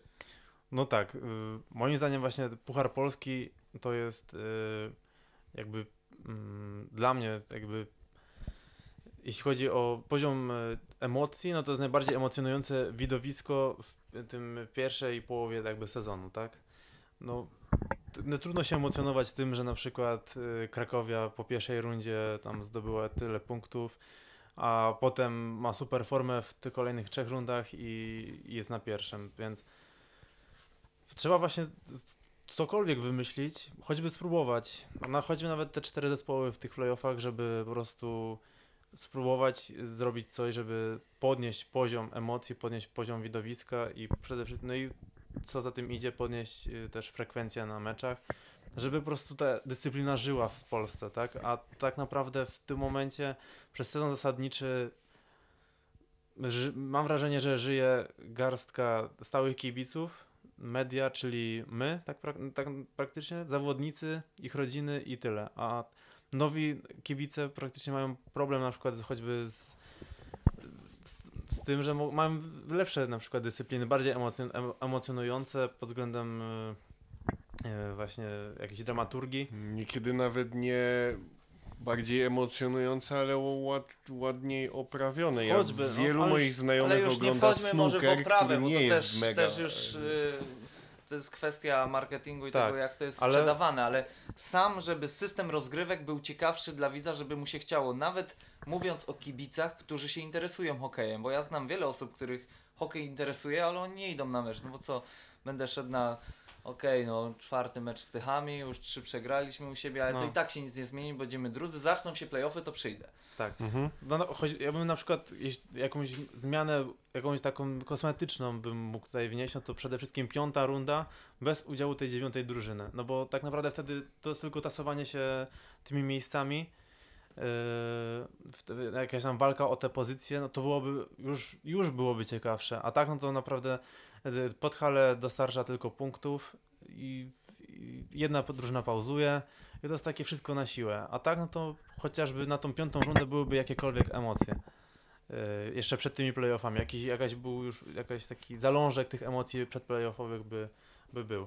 No a tak, no to patrzymy tylko na, mm, na te 8 zespołów, które wiadomo przed sezonem w sumie można w ciemno założyć, kto będzie grał yy, w playoffach. Tylko problemem jest, kto zajmie jakie miejsce, tak? No, k- W- Większym tak naprawdę- problemem są tam trzy ostatnie miejsca No, tak no naprawdę i- niż czołówka w tym Tak, no. momencie. przed sezonem mówisz sobie, Podhala i tak nie wejdzie, więc poczekamy na playoffy, tak? No i No, praktycznie dokładnie. możesz cały sezon nie chodzić, bo potem przychodzisz na playoffy i, i jest ciekawie. No i tyle, no. To ty, tyle, to co mam do powiedzenia. Odnosząc się do tezy Patryka o tego pomysłu, to myślę, że jednak gdzieś jednak by powodowało to, że jest jeszcze więcej tych meczów o pietruszkę w sezonie zasadniczym, e, gdzie tak naprawdę to w obecnym układzie tabeli to piąte miejsce byłoby właśnie taką kwestią niezgody i ta rywalizacja siłą rzeczy rozstrzygnęłaby się w obecnym układzie między Jastrzębiem a Katowicami. Playoffy to dosyć taka charakterystyczny, e, to dosyć charakterystyczny i konserwatywny mimo wszystko system rozgrywkowy, który jednak e, nie lubi takich e, kompromisów, jakichś udogodnień. Naprawdę trzeba się nagłowić. I tak jak mówiłem, myślę, że najlepszą opcją dla polskiego hokeja, na którą się, tak jak przyznałeś, nie zanosi, jest po prostu rozszerzenie ligi. Tylko no, na horyzoncie nie ma ekip, które by byłoby stać na podjęcie rywalizacji na najwyższym poziomie, na stanowienie jakiejś wartości dodanej tych, e, do tych rozgrywek. E, Nie wiem, być może zabrzmi to dosyć złowieszczo, ale rozbiór polskiego hokeja. e, Europejski hokej też ma swoje mankamenty i coraz więcej drużyn skłania się ku takiej unitarności. Ligi się ze sobą łączą z mniejszych krajów, z krajów słabszych hokejowo i chociażby ekipy ze Słowenii mogą teraz występować na bardzo dobrym poziomie w Ice Hockey League, która zrzesza e, kluby z krajów alpejskich, e, gdzie ta liga wyrasta jednak na, e, na jedną z wiodących rozgrywek w Europie. Może nie na poziomie tych najlepszych hokejowo państw, ale to jest naprawdę ciekawy produkt dla kibica, który może nawet nie żyje na co dzień hokejem, bo to są rynki rozwijające się, ale na pewno przyciąga ciekawe nazwiska. Więc myślę, że nawet taka Krakowia, Tychy miały potencjał, żeby wystąpić na południu. Tylko powiedzmy sobie szczerze, to już byłby strzał prosto w serce dla całej reszty zespołów. No, nie wyobrażam sobie, e, że taka Krakowia i Tychy w tej chwili decydują się na grę e, w innej lidze. No, musi się to równać z pozostawieniem PHL. E, I co, zostajemy z siedmioma zespołami? Czy ta rywalizacja jest jeszcze mniej mm, ciekawa? Myślę że, myślę, że wtedy obniżyłyby się po prostu standardy sportowe ligi i otworzyłaby się szansa dla klubów, które występują obecnie w MHL.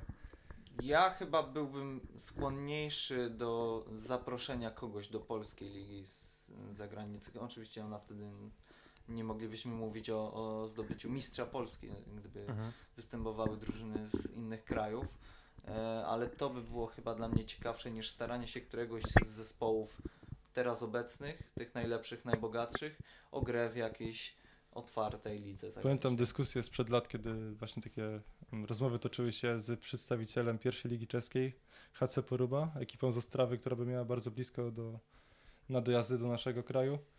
I o ile się nie mylę, to właśnie wtedy włodarze ligowi opowiedzieli się przeciwko takiemu pomysłowi.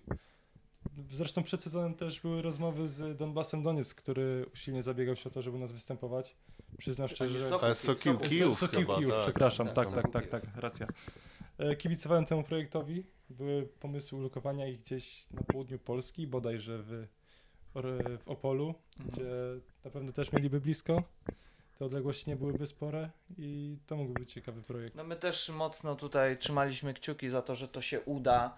E, Z tego co wiemy, to tam też był problem po prostu z tym, żeby drużyna się wydostała z Ukrainy, bo to, to nie tylko tak, że e, władze klubów i liga nie chciały ostatecznie drużyny z Ukrainy przyjąć. Gdzieś ostatnio znowu słyszałem, że ten temat być może przed przyszłym sezonem wróci.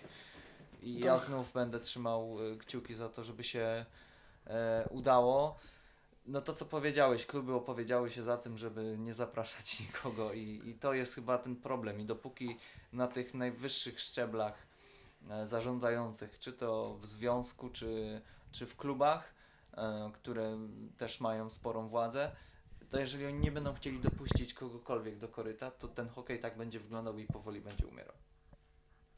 No myślę, że jeśli nic się nie zrobi w kierunku ulepszenia formuły tej ligi, no to ten hokej cały czas będzie umierał. Popatrzmy no właśnie na to, co wspomniałem, na frekwencję. Ludzi coraz mniej ten hokej interesuje, e, jeśli chodzi o sens zasadniczy.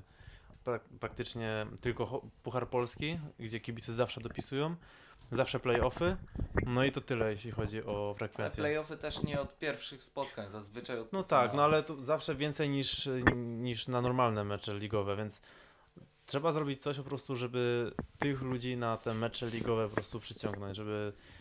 prostu- Systemowo, bo nie mówimy tu pewnie, już tak. o, o marketingu, Nie, czy, nie, nie. tylko systemowo, czysto. E, I, I też właśnie nie chodzi o, o starania samych klubów też, yy, no bo jeden klub może mieć marketing lepszy czy gorszy, no ale tu właśnie związek powinien wysunąć jakieś pomysły, jak yy, ulepszyć po prostu ligę, jak, jak zwiększyć zainteresowanie hokejem. No ja do tych cztero, czteroklubowych y, półfinałów, czy w sumie rozpoczynanie od półfinałów, playoffów, jestem troszkę sceptycznie nastawiony, natomiast ja bym tu pokusił się o, o, o, zmianę bardziej formatu właśnie playoffów, tak jak wspomniałem na początku, y, nie playoffów, tylko Pucharu Polski. Y, Tak jak wspomniałem na początku, dlaczego nie moglibyśmy zrobić tak jak y, w piłce nożnej na przykład, no nie?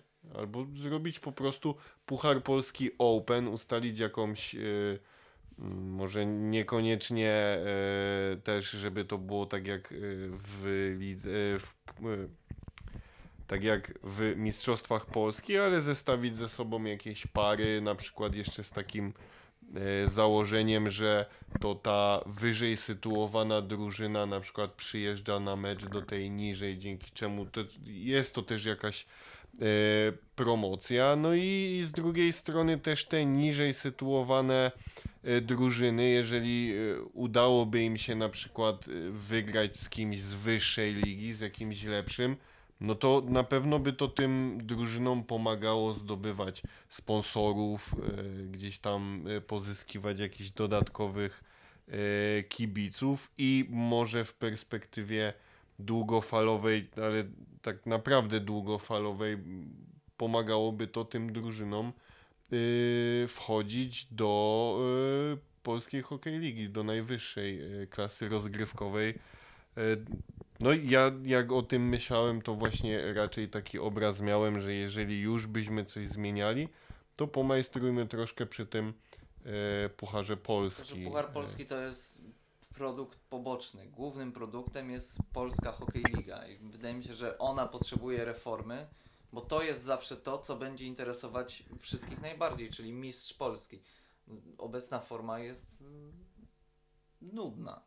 No, ja nie wiem, czy tu bardziej e, Mistrzostwo Polski interesuje kogoś od, e, od Pucharu Polski, bo tu e, wydaje mi się, że ta społeczność skupiona wokół polskiego hokeja jest na tyle Nie, no, no Niewielka, nie no, że tu- tytuł mistrza Polski ma zdecydowanie większą wartość niż tytuł. Ale wartość, a ja patrzę bardziej pod, y, pod kątem y, kibiców i większość osób ogląda.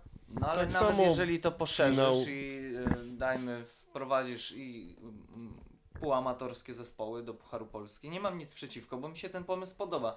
Tylko nie zgodziłbym się z tym, że ten pomysł powinien powodować, że zapominamy o tym, jak wygląda e, liga. Bo według mnie reforma może być i tu, i tu. Czemu jedno ma wyprzeć drugie? No, ja po prostu powiedziałem, że sceptyczny jestem do tych nie, czterech, ja nie, y, do ja tego nie, nie, to ten i, i po prostu ja nie, y, zastanawiałem tutaj się mówić, że nad to jest tym. mój super pomysł 4. Ja tylko tak rzuciłem, bo nie, nie wyobrażam sobie, że co, no nie rozszerzymy do 8, do 6 nieparzyście, to dwie drużyny najlepsze co by pauzowały w pierwszej. No to też tak dziwnie. Był, b- chyba w Czechach jest taki system, że E, tak, play-iny mają przy tak, że cztery są play-iny, że wchodzi tam pierwsza czwórka do chyba ćwierćfinału, nie, może nie do ćwierćfinału, ale do tej rundy dalej, a te drużyny niżej... Czekają na rywala. Tak, tak, Czyli tak, są rozstawieni. tak. Tak, a Coś reszta, a, reszt, a reszta walczy po prostu o rozstawienie. No to to mogłoby to funkcjonować tak przy dziewięciu drużynach, że na przykład w tej chwili Krakowia i Unia e, wchodzą do półfinałów, czekają na swojego rywala, a e, drużyny 3 8 grają o, o wejście. Jest to Ale godne ale- rozważenia na pewno. Okej, tylko że to by za wiele nie zmieniło. Mm, Nie 3-8, 3-6. przepraszam. 3-6. 3-6. Za wiele No by dobrze, ale nawet jeżeli spojrzymy na pomysł e, tych czterodrużynowych playoffów, to... Znaczy, to tylko tu mi chodzi, cho, mi z czteroma chodziło o to, Aha. że w tej chwili jak mamy playoffy, to jak zaczynamy sezon, to jesteśmy wska- praktycznie zawsze w stanie wskazać ten jeden zespół, który nie gra w playoffach. I wszyscy potem czekają na playoffy, bo w playoffach to wiecie, Mhm. inna atmosfera, playoff, playoff inna gra, tam się dzieje magia, tam wszyscy walczą. Po Bro, prostu Wszyscy brody zapuszczają. Idąc, idąc, idąc za ciosem, możemy I- też spojrzeć na ten na to z tej strony, że tak naprawdę właśnie ten playoff między czwartą a piątą drużyną budzi najwięcej emocji wśród nas obecnie. I czy byśmy rozpoczęli e, te playoffy od rywalizacji półfinałowej, pomijając już zespoły jak Toruń, Sanok czy Sosnowiec, to dalej bylibyśmy w punkcie wyjścia. Ale popatrz sobie, że podczas sezonu zasadniczego nie mógłbyś sobie tak często pozwalać na takie wpadki z jakimś e, sos... nie chcę tak powiedzieć, z jakimś, z drużyną z Sosnowca, z Sanokiem, z Toruniem. Ta wielka piątka w tej chwili liczyłaby się bardziej w tych spotkaniach ze słabszymi, Mhm, ale co z, spowodowałoby, że byłoby bardziej z, wyrównane. drugiej, z drugiej strony te mecze na szczycie tabeli miały mniejsze znaczenie, też wiedząc, że drużyny mogą pozwolić sobie na potknięcie, że ta ko- kolejność Być może, sezonu nie się, ma miałoby znaczenia. dokładnie taki sam jak w tej chwili. No i wszystko, no i właśnie jesteśmy znowu w punkcie wyjścia i mi się wydaje, że problem może nie leży tyle w samych strukturze tych rozgrywek, co w samych drużynach biorących udział w rozgrywkach, gdzie jest jednak bardzo mocne rozwarstwienie między tą czołową czwórką, piątką, czyli górną połową tabeli, a tymi drużynami z dołu. Nie, no to tak, ja się zgadzam. No, gdybyśmy mieli 9 drużyn wyrównanych, czy nawet 8, no to super. Tylko no powiedzmy sobie szczerze, to jest coś, no nie jesteśmy w stanie tego sprawić w krótkim terminie. Ten pomysł o zmianie rozgrywek jakkolwiek, to jest jakiś kompromis, akceptując sytuację hokeja w Polsce. No, powiedzmy sobie szczerze, w Podhalu nie będzie w najbliższych czasach za dobrze. Sosnowiec nie będzie tak bogaty jak Katowice. Janowa nie możemy się za szybko w polskiej hokejlice spodziewać.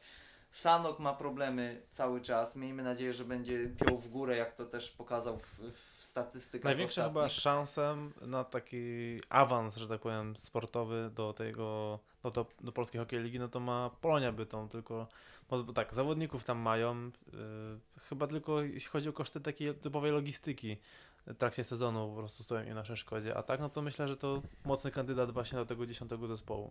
Okej, no ale to wciąż mamy jeden zespół i znów No ale to zawsze, tego- zawsze wiesz, zawsze, Nie, ja, ja się cieszę, no jak oni mogą grać już od przyszłego sezonu, zapraszamy. nawet jak, Tylko ale popatrz, czy przy tym systemie to coś zmieni? No, ale nawet jeśli, jak patrzysz na Flash Scora i widzisz tabelę 9-zespołową, no to dla mnie to jest jakby trochę karykaturalne. Gdzie masz, No jakaś klasa B. Jest taka asymetria i tak, no to, to zawsze się jakoś brzydko na to patrzę, tak powiem. A No zawsze jak jest to tak. dzie- 10 zespołów, no to zawsze już masz y, jakby lepszy widok tego wszystkiego.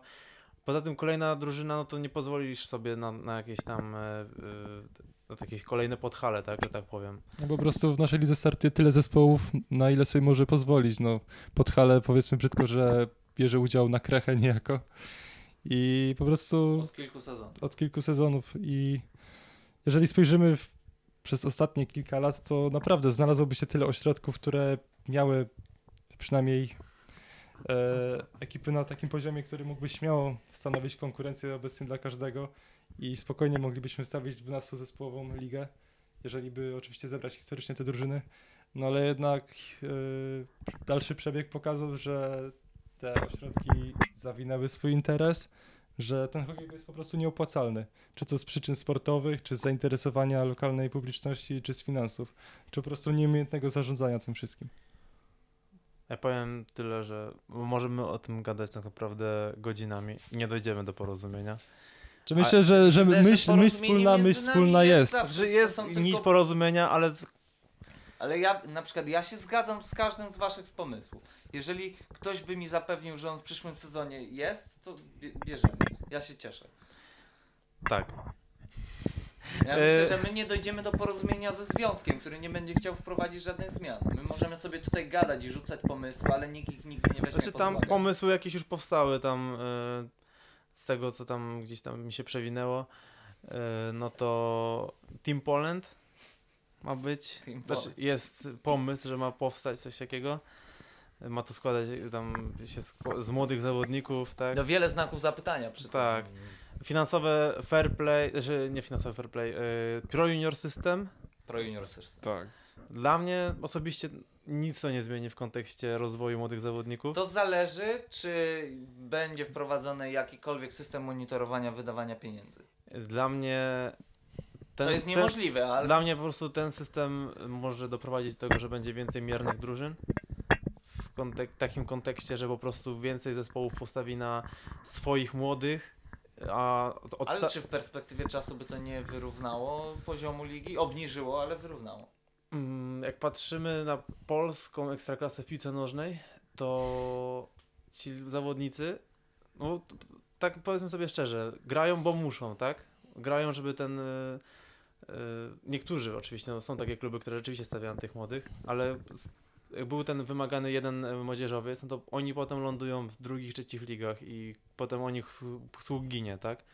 I to samo myślę, że będzie tutaj, że wśród tych zawodników, którzy mogą jakby zapełnić tam lukę po, po kilku tam obcokrajowcach, którzy, którzy by odeszli, no to myślę, że jeden maksymalnie byłby na takim poziomie, który przyszłościowo mógłby na przykład zagrać w reprezentacji Polski. I nic poza tym. Po prostu obniży się poziom sportowy ligi, a za tym idzie, przynajmniej chwilowo, tak? E, A co za tym idzie, no, Liga stanie się po prostu znowu nudniejsza, bo wiadomo, że Tychy sobie nie pozwolą na, na coś takiego, żeby po prostu grać tylko, grać na przykład jedną formacją y, młodych, tak, jakiś U18. Krakowia sobie na to nie pozwoli. Y, myślę, że GKS Katowice także. No to znowu będzie Liga dwóch prędkości. I- Ale te kluby nie mogą sobie pozwolić na to, bo mają albo bardzo dobrych zawodników zagranicznych, albo bardzo dobrych reprezentantów Polski. I z drugiej strony to byłaby ciekawa skarbonka dla takiego Podhala Nowy Targ, No tak. gdzie uważam, że udział ichniejszych obcokrajowców nie przyniósł absolutnie nic w tym sezonie, nie wniósł nic pozytywnego. Jedynie moglibyśmy wyróżnić Kevina Linskuga, który wypromował się do Unii e, z ataku Oleksija Woronę i Aleksa Maunule i na tym cisza. E, Jeżeli spojrzymy na Toruń, to tam też nie ma szczególnie przesadnie dobrych e, stranieri. Illa Koręczuk i dla mnie też długo, długo nic. E, I myślę, że w takich... I to pierwszy raz od wielu lat, bo przecież y, Toruń był rozkupywany po każdym swoim kolejnym sezonie. No tak, ale za, zamknięcie się na zawodników z Rosji czy z Białorusi na pewno odcisnęło swoje piętno na No tej to polityce transferowej. Wszyscy wiemy, dlaczego jest tak, a nie inaczej. I jeżeli w mniej wymagającym meczu, chociażby z takim podhalem, czy przy wysokim prowadzeniu, musimy też oczywiście złożyć, zrobić jakieś założenia tego projektu Pro Junior System, to myślę, że trenerzy stanęliby jednak przed taką zagwozdką, czy jednak puścić zawodnika, który jest po prostu zapchać dziurą z zagranicy i ma swój przeciętny poziom, czy może jednak zaryzykować i postawić na jakiegoś młodzieżowca, który ma szansę się pokazać, który jednak przyniesie, nawet jeżeli zaryzykuje, nawet jeżeli podczas jego zmiany zespół straci gola, to jednak zawsze przyniesie coś pozytywnego drużynie. Konrad. No ja już się wypowiedziałem y, i w zasadzie myślę, że tutaj polemikę można prowadzić godzinami i Dobrze, że pary zostawiliśmy na początku, bo Ale, Ale też byliśmy ale, zgodni. Ale, bo to jest nasze ostatnie chyba spotkanie y, przed półfinałem, tak? Znaczy ogólnie przed, przed, no przed półfinałem. Przed półfinałem, tak. Mhm. Tak, czyli mamy pary ćwierćfinałowe, to możemy na przykład jeszcze powróżyć z fusów, kto w finale. Okej, no ja chciałem jeszcze y, zakończyć ten temat, bo miał być rozluźniający, Mhm. ale rozluźniliśmy się trochę za bardzo i przejść ja wiem, czy był jeszcze rozluźniający, ja, mi się wydaje, że był najbardziej ognisty. przy, przejść jeszcze do, y, do najlepszych. Najlepszy bramkarz, najlepszy to obrońca, najlepszy najlepszych, napastnik, y, a potem jeszcze a a potem Mhm. jeszcze te pary, tak. Dobra, no to może ja zacznę. No to myślę, że wszyscy się zgodzimy, jak najlepszego bramkarza określimy e, Tomasza Fucika. No chyba numer jeden tak. Nie, nie wnoszę weta. ze wszystkich bramkarzy. Jeśli chodzi o, o obrońcę, no to dla mnie Jiří Gula mm, z Krakowi. Nie dość, że super warunki fizyczne, dobrze i w obronie, i w ataku, to jeszcze trzeba sobie powiedzieć, że jest to najskuteczniejszy obrońca polskiej hokej ligi. Także no, Krakowia ma z niego sporą pociechę. A jeśli chodzi o napastnika, mm, no to mam tutaj dwa takie nazwiska, które bym określił mianem najlepszego. No to Bartosz Fraszko i Patryk Wronka. Myślę, że jednak mm, mm, z perspektywy całego sezonu, no to bardziej na, na to miano właśnie zasługuje Patryk Wronka ze względu na to, że moim zdaniem trudniej się wyróżnić y, z tłumu takich już gwiazd, no bo wiadomo, w tym roku rzeczywiście Krakowia ma taki Dream Team i wśród tych zawodników, no to naprawdę no, trudniej się wyróżnić niż, y, niż na przykład y, Bartosz Fraszko w Gieksie, gdzie, y, gdzie praktycznie on i jego formacja jest od zdobywania bramek, tak? Więc no tutaj postawiłbym numer na, na najwyższym stopniu podium Y, Patryka Wronka. No to Mateusz mnie troszkę zaskoczył, bo we wcześniejszych rozmowach stawiam jednak wyżej Bartosza Fraszkę, przez co nasze typy się zdublują. E, Myślę, że jeżeli chodzi o obsadę bramki, tutaj nie ma najmniejszego zaskoczenia, o czym już wspominałem wcześniej, że Tomasz Fuczyk i reszta konkurencji tylko może podziwiać jego interwencję w tym sezonie, jego skuteczność obron, jego średnią bramek wpuszczanych na mecz, bo naprawdę ciężko e, znaleźć w tej lidze bramkarza, który by bronił na tak wysokim, na tak wyrównanym poziomie w przekroju całego sezonu. Na pewno sporą wartością dodaną przy jego nazwisku jest też wywalczony Puchar Polski, bo jednak e, ta całą śmietankę, która e, spływa razem z tym trofeum, no to spija Tomasz moim zdaniem, bo dwa świetne występy przeciwko Gieksie i Unii na pewno wybitnie pomogły Tychom w osiągnięciu mm, tego trofeum. E, Co do obrońcy Jiří Gula, rozwinę tylko, że to jest obrońca świetny zarówno na linii niebieskiej, potrafiący oddać e, piekielnie potężne uderzenia, jak i po prostu znakomity defensor, który wiązuje się z swoich obowiązków przed własną bramką. E, Co do napastników można mieć podobne dylematy. Z tych mniej oczywistych wyborów na pewno można rozpatrywać też e, Josefa Mikiska, o którym już też wspominałem w, przypadku pary JKH GKS Jastrzębie kontra GKS Katowice, czy też Ille Koręczuka, który był takim małym objawieniem tych e, mistrzostw świata w Tychach i na pewno e, w drużynie grającej taki hokej jak Toruń ciężko się wybić ofensywnie. No i Ille Koręczuk pokazał, że potrafi wziąć naprawdę z tą lwią część ciężaru na swoje barki i, jednak dać sporo punktów temu zespołowi. I chociażby Toruń y, przecież y, przoduje w statystykach y, bramek zdobytych w przewadze.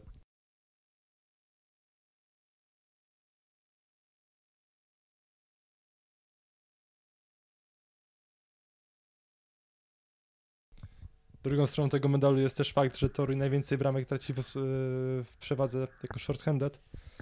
No ale to już temat raczej na takie podsumowanie poczynień tych drużyn. A Patryk Wronka mi zaimponował tym, że po średnio udanych zagranicznych wojażach, po tym słabszym okresie w GKS-ie Tychy, kiedy wydawało się, że już y, ktoś mógł na nim postawić krzyżyk, no to zyskał taką radość z gry w Gieksie i patrząc na niego w Krakowie, to dalej ma sporo tego luzu, sporo tej radości z gry.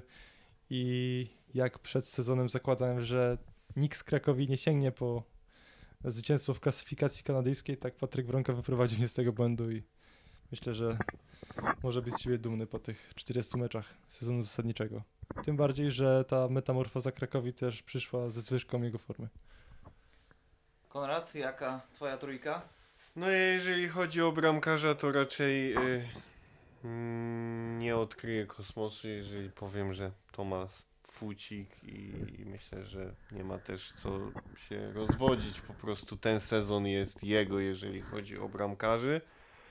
Y, natomiast co do obrońców, y, napastników również mam dwóch, ale najpierw obrońców. Y, no, ja tutaj sobie wpisałem Petra Bezuszkę z Unii Oświęcim, bo jest w moich oczach jest solidnym, solidnym graczem, już zresztą nie pierwszy rok i, i, i wydaje mi się, że był to dobry sezon dla niego, e, jak zresztą dla całej Unii Oświęcim. Myślę, że ten sezon zasadniczy był dobry. I wpisałem sobie jeszcze e, młodego e, zawodnika z GKS-u Tychy, czyli Oliego Kaskinena. Bo tam też zauważyłem, że dość wysoko był w tych klasyfikacjach. Młody, w mojej ocenie, perspektywiczny zawodnik i myślę, że, że GKS y, Tychy dobrze zrobił ściągając go i myślę, że dobrze zrobi, jeżeli też go zatrzyma. Tak jak mówiłem wcześniej, y, dla mnie Tychy mają dwóch naprawdę klasowych obrońców jak na standardy naszej ligi i jest to właśnie, tak jak mówiłeś, y, Kaskinen, no i ode mnie jeszcze właśnie, tak jak już wspomniałem, ten August Nilsson. Także dwa takie transfery mm, z Półwyspu Skandynawskiego, gdzie naprawdę mm, może na przykład Gieksa mogłaby brać przykład, jeśli chodzi o transfery właśnie z, Ze Skandynawii. ze, tak, z tamtego rejonu. Nawet ogólnie nie mówiąc o zawodnikach zagranicznych, wydaje mi się, że GKS Katowice od trzech sezonów e, nie ma wybijającej się postaci, która by była cudzoziemcem. Jedyny- Hudson. Hudson, Eriksson, ale jeżeli spojrzymy na, te, mówię tutaj głównie o napastnikach, jeżeli spojrzymy o, na klasyfikację kanadyjską zespołu, no dobrze, Brandon Maggie, który wszedł w buty w rąki, e, dwa lata temu był taki gracz jak Stepanow, który był absolutnym profesorem, ale od takich zawodników jak Monto, Lechtonen, którzy jednak zostali w tym sezonie, e, Hito Sato, Blomqvist, Pulkinen, e, Mikola, którego też nie ma w zespole wraz z Blomqvistem, powinniśmy wymagać znacznie więcej. I wydaje mi się, że to też jest taka pięta Hillsowa Gieksa, ale to już jest taka moja dygresja. Nie wiem, czy na, warto się na nią jeszcze pochylać. No myślę, że te transfery to zagraniczne nie wyszły tutaj e, Katowicom, ale nie będę się rozpływał. Moja trójka, e, takie jedno kryterium sobie postawiłem, żeby wybrać trzech zawodników z trzech różnych klubów, przez co to niekoniecznie będzie najlepszy e, zawodnik e, ogółem. E, bramkarz, no bez dwóch zdań, tutaj nie ma co dyskutować. E, No i miałem wątpliwości co do tego, kogo wybrać, z której drużyny wybrać obrońcę, z której napastnika i zdecydowałem się, że jednak Jiří Gula e, po statystykach no, mogę się z Wami zgodzić, że zasługuje na to miano. E, No i napastnik musi pójść do kogoś z Unii Oświęcim. Może nie jest to oczywiste, ale ja tutaj Może też do kogoś z Sanoka. nie, Albo z Torunia. pierwsze trzy drużyny, tak? Krakowia, Unia i Tychy. I ja bym tutaj postawił na Denyskina, który no, w ostatnich tygodniach stał się jedną z najważniejszych postaci Unii Oświęcim. Ten początek nie był aż taki, ale on też e, przez kilka e, meczy grał w trzeciej piątce, nawet w czwartej, jeżeli dobrze pamiętam. E, Udało mu się wystąpić, jakby to zaufanie być może z powodu pewnego artykułu nie było zbyt, zbyt duże wobec napastnika e, Unii, e, no ale jest to jedyny gracz według mnie w składzie Oświęcimian, który w tym sezonie potrafił zrobić indywidualną akcję i zdobyć piękną bramkę. Wydaje mi się, że tutaj fajnie byłoby zaznaczyć, że dobrze wszedł w tą naszą ligę i też warto zaznaczyć, że on ma z Unią podpisany kontrakt trzyletni. Mhm. Na pewno jest to moim zdaniem najlepszy transfer y, Unii w tym sezonie. No na pewno fajnie się tam odnalazł y, w tej drużynie. Y, zresztą tak jak chyba wszyscy Ukraińcy w Unii. Cała trójka. Cała tutaj. trójka, trzeba jasno powiedzieć, naprawdę dobrze się odnalazła w, w polskiej hokej lidze. Przecież Filip Pangiełów też, też potrafi y, pomóc kolegom w ofensywie. W defensywie może troszkę nieco gorzej, no ale. mm, No, tu ma jedynie dw- trzy punkty mniej od Irzego Góry. no, no tak jak mówię. y, Pangiełow na pewno mocno na plus, jeśli chodzi o obrońców w Oświęcimiu i, I Padakin jest i. Padakin. Ja od Padakina troszkę więcej e, oczekiwałem ze względu na jego przeszłość w różnych ligach. Ale też nie ma chyba, chyba też nie jesteś jakoś bardzo Nie, rozczarowany. nie, w sensie jestem zadowolony, tylko jakbym miał przed sezonem wskazywać, który z dwóch ukraińskich napastników będzie tym, którego po sezonie zasadniczym będę mógł wskazać jako tego lepszego, to raczej bym wtedy stawiał na Padakina. Zresztą jego początek w Unii, ta pierwsza runda była bardzo dobra, on tam punktował w każdym meczu. No ale powiedzmy sobie Później- szczerze, Polska Hokej Liga weryfikuje. No, już nie jedną Wielu- karierę zakończyła. Dokładnie. Wielu zawodników za oceanu to uderzyło głową w mur polskiej hokeistki. Trenerów również. E, Ja jeszcze chciałem uzupełnić swoje typy o napastników, bo Właśnie. nie dopowiedziałem. E, No tutaj też Bo chyba. tylu tych obrońców wypowiedzieć. właśnie. Aha, ja jeszcze chciałem Jak E, tylu? Chciałem Dwóch. tylko dodać, że ja chciałem powiedzieć, że dla mnie to jest najgorszy sezon Petera Bezuski w ostatnich latach Unii Oświęcim. Ja go zawsze postrzegałem właśnie jako takiego solidnego, taka os- typowo ostrej defensywy, bez żadnych błędów. A Co właśnie, stracił w tym sezonie. a właśnie w tym sezonie rzuciły mi się w oczy kilka takich prostych błędów, ale to jest nadal solidny obrońca i nadal właśnie jeden z najlepszych w polskiej hokej lidze, mimo wszystko.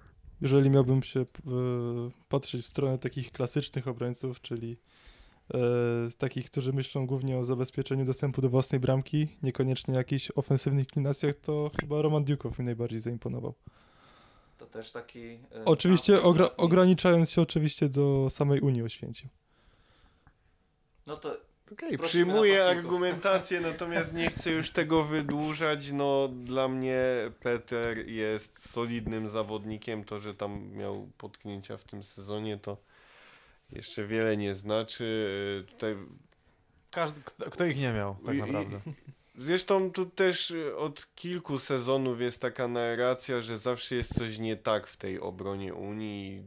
często coś tam nie pasuje. Zdecydowanie lepiej e, w tej Unii działają e, formacje ataku niż obrony. Natomiast już a propos ataku, to wymienialiście Patryka Wronkę, więc e, no ja wspomnę, że też o nim myślałem, myśląc o najlepszym ma- najlepszym zawodniku z sezonu zasadniczego na pozycji e, atakującej. Natomiast e, jeszcze też bardzo zwracał moją uwagę Jean Dupuy swoją fizycz, nie wiem czy dobrze to powiem fizycznością, ale po prostu stylem gry, no jest to dość e, dobrze zbudowany zawodnik, można tak powiedzieć, e, który no zdecydowanie wie jak korzystać ze swoich aspektów fizycznych. Może nie jest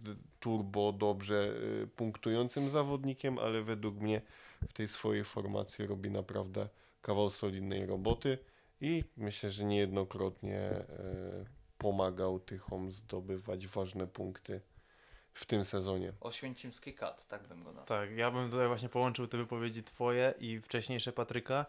Patryk powiedział wcześniej właśnie, że Tychy miały ten pik y, formy właśnie na koniec roku. I ty teraz W mówisz grudniu, tak. y, y, powiem, no, na koniec y, roku. Mhm. Ty mówiłeś właśnie teraz, że y, Deepwee jest takim dla ciebie jednym z najlepszych napastników w Polsce. No i właśnie wtedy właśnie moim zdaniem w tym okresie właśnie oni, ten cały tercet Mroczkowski, Muławę, Deepwee mieli właśnie taki swój szczyt formy i to właśnie oni nieśli ten GKS y, na swoich warkach, jeśli chodzi o ofensywę.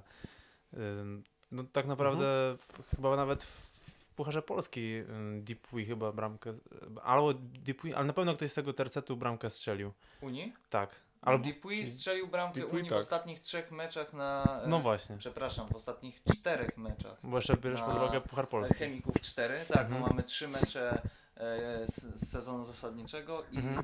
Puchar Polski Dupuy strzelał albo we wszystkich, albo w jednym, tylko nie. No właśnie, no to, I dodajmy, że Unia nie wygrała z Tychami na własnym lodzie w tym sezonie. no to widzisz, to tak jak trochę...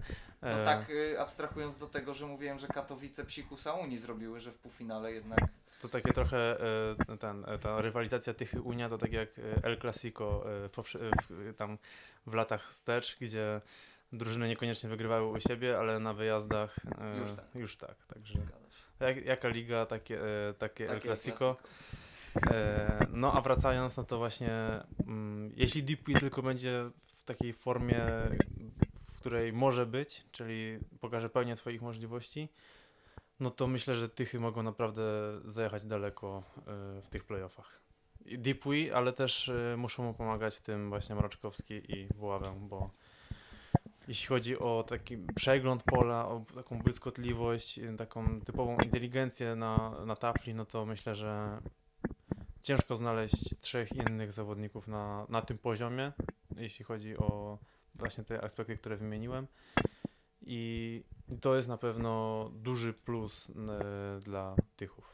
No tu Jean Dupuy musi być też chyba trochę wdzięczny kolegom, że ostudzili jego głowę podczas tej przepychanki w boksie No, w ostatnim meczu z Sanokiem, nie tylko- bo na nagraniach to on tam był pierwszy.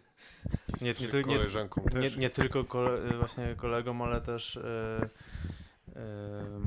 pani Magda Wolszon e, tam podtrzymywała tam mocno e, Kan- Kanadyjczyka. Os, ostatecznie no mm, moim zdaniem nie doszło tam do żadnego przekroczenia przepisów. Nie, nie, oczywiście nie, ale myślę, że gdyby No, że była właśnie- wolna droga, to No, mogłoby no, się to to na pewno, to na pewno, bo wiadomo, że Jean już nieraz pokazał, że e, to raczej jest typ gorącej głowy niż e, jakiegoś stoickiego spokoju, E, więc tutaj bardziej e, dobrze, tak się stało, jak się stało i że tylko Fuczyk jest e, wykluczony na jeden mecz, w sensie dobrze dla Tychów oczywiście, E, bo mogło się to skończyć gorzej, prawda? No, decyzja ligi mogła być taka, że Fujik jest zawieszony na przykład na dwa albo trzy mecze. No a za tą całą burdę, no może ktoś ponieść konsekwencje, ostatecznie nic takiego się nie, nie wydarzyło, więc Bardzo dobrze, bo myślę, że to też przynajmniej z mojej perspektywy ta burda była bardzo przyjemna i widowiskowa. O, na pewno kiedyś właśnie przyzwyczaili nas do tego właśnie e, takimi pokazami Mike Danton, wspomniany już wcześniej, czy właśnie jego s- słynne spięcie właśnie z Adamem Bagińskim, gdzie polowali na siebie oboje w każdym meczu przeciwko sobie. E, no i jeszcze wtedy Kacper Guzik grający w Tychach, także właśnie brakuje mi w tej lidze ta- takiego, e, takich showmenów, którzy mogli zrobić show właśnie tam e, Pamiętamy przecież bójkę z zeszłego to było sezonu, to chyba tak, e, albo dwa lata temu, gdzie Deep Wee e, zmierzył się z Jakubem Michałowskim. O, sprzed dwóch lat, w poprzednim sprzed sezonie lat, razem tak, grali tak, z sobą. Tak, dokładnie. E, No i pamiętam, jakie to wywołało, jaki, jaki rozgłos to przecież miało, ta, ta cała sytuacja, także hokej to nie tylko Jeszcze- hokej, ale to właśnie też e, takie pozahokejowe sprawy. Emocji Tak, w jakieś- męski sposób. Tak, no przecież mm, hokej właśnie słynie z tego, że to jest twarda gra na pograniczu brutalności, tak wy, ostre wejścia ciałem, właśnie bójki. Tego nie ma na przykład w piłce nożnej, czy w innych sportach zespołowych. Na przykład choćby w piłce, piłce ręcznej, która też jest określana mianem bardzo takiego już, no, nawet może nie bardzo, ale na pewno bardziej brutalnego sportu niż piłka no, ale nożna. nie ma sytuacji, gdzie dwóch panów sobie staje i wszyscy Dokładnie. się na to, że mogą e, To także- minutowy pojedynek na pięści stoczyć. Także chciałbym właśnie takich showmenów, jak, jakich mieliśmy kilka lat wstecz. Jeszcze głośniejsza była chyba bójka Jean DP z Richardem Nesklewem, gdzie Tak, tak, tak. napastnik Krakowi został wręcz zmasakrowany. Miał problemy z opuszczeniem tafli. No, to, to E, było- ciekawi mnie też, e, jaki wpływ ci koledzy, którzy powstrzymali Jean w boksie z Sanokiem mieli na jego pozostanie w Tychach, kiedy wydawało się w listopadzie, że on i Aleksander Bławę opuszczą szatnię tyskiego zespołu. Co ciekawe, tak jak wspominałeś, właśnie po tym okresie e, też zbiegła się ta wyższa forma obydwu napastników. I ciekawe w jakim miejscu, jak, jakie notowania byłyby obecnie Tyszan bez tej dwójki. Myślę, że na pewno byłoby ciężej o punkty, o jakieś tam e, wygrane, bo tak jak mówię, ta właśnie ta formacja ska- ta typowo kanadyjska, wiadomo, Mroczkowski ma polski paszport, więc trzeba go nazywać Polakiem, no ale wiadomo, że urodził się e, w Kanadzie. No to właśnie ta, ten kanadyjski tercet robi ogromną pracę dla, dla Tychów i oni są właśnie od y, zdobywania bramek, od y, wykorzystywania przewag i właśnie od stricte właśnie tych ofensywnych y, aspektów. I myślę, że bez nich to naprawdę byłoby dużo, dużo, dużo ciężej Tychom odnaleźć się, zwłaszcza po tym kryzysie, który mieli na początku sezonu. Ja myślę, że bez nich to jednak Puchar Polski byłby w rękach Oświęcimian. Też tak bez myślę. tej dwójki. A nawet myślę, że ciężko mieliby się dostać nawet do tej topowej czwórki bez nich. No tak, wtedy o awansie do Pucharu Polski jeden punkt decydował. Tak. O i- tym być albo nie być dla GKS-u Tychy i JKH. Powtórka z rozgrywki, z rozrywki co do walki teraz o, o Tak. to czwarte miejsce. Tylko że, tylko, że teraz mieliśmy GX Katowice. Tak, i inne i zespoły. G, tak, no to ale bliźniacza sytuacja dla GKS-u Tychy Tak, notabene, który miał właśnie praktycznie nóż na gardle, tak? Ja bym chciał jeszcze do Fucika, bo jak już y, tyle razy wspominałem, że jednak półfinał Unia Tychy, to ja liczę na e, pojedynek bokserski e, Fucik Lindskuk y, na tafli przy Chemików 4. E, chociaż mam obawy, że jednak Fucik nie, nie stawi się na pojedynek, bo będzie się bał e, większego zawieszenia.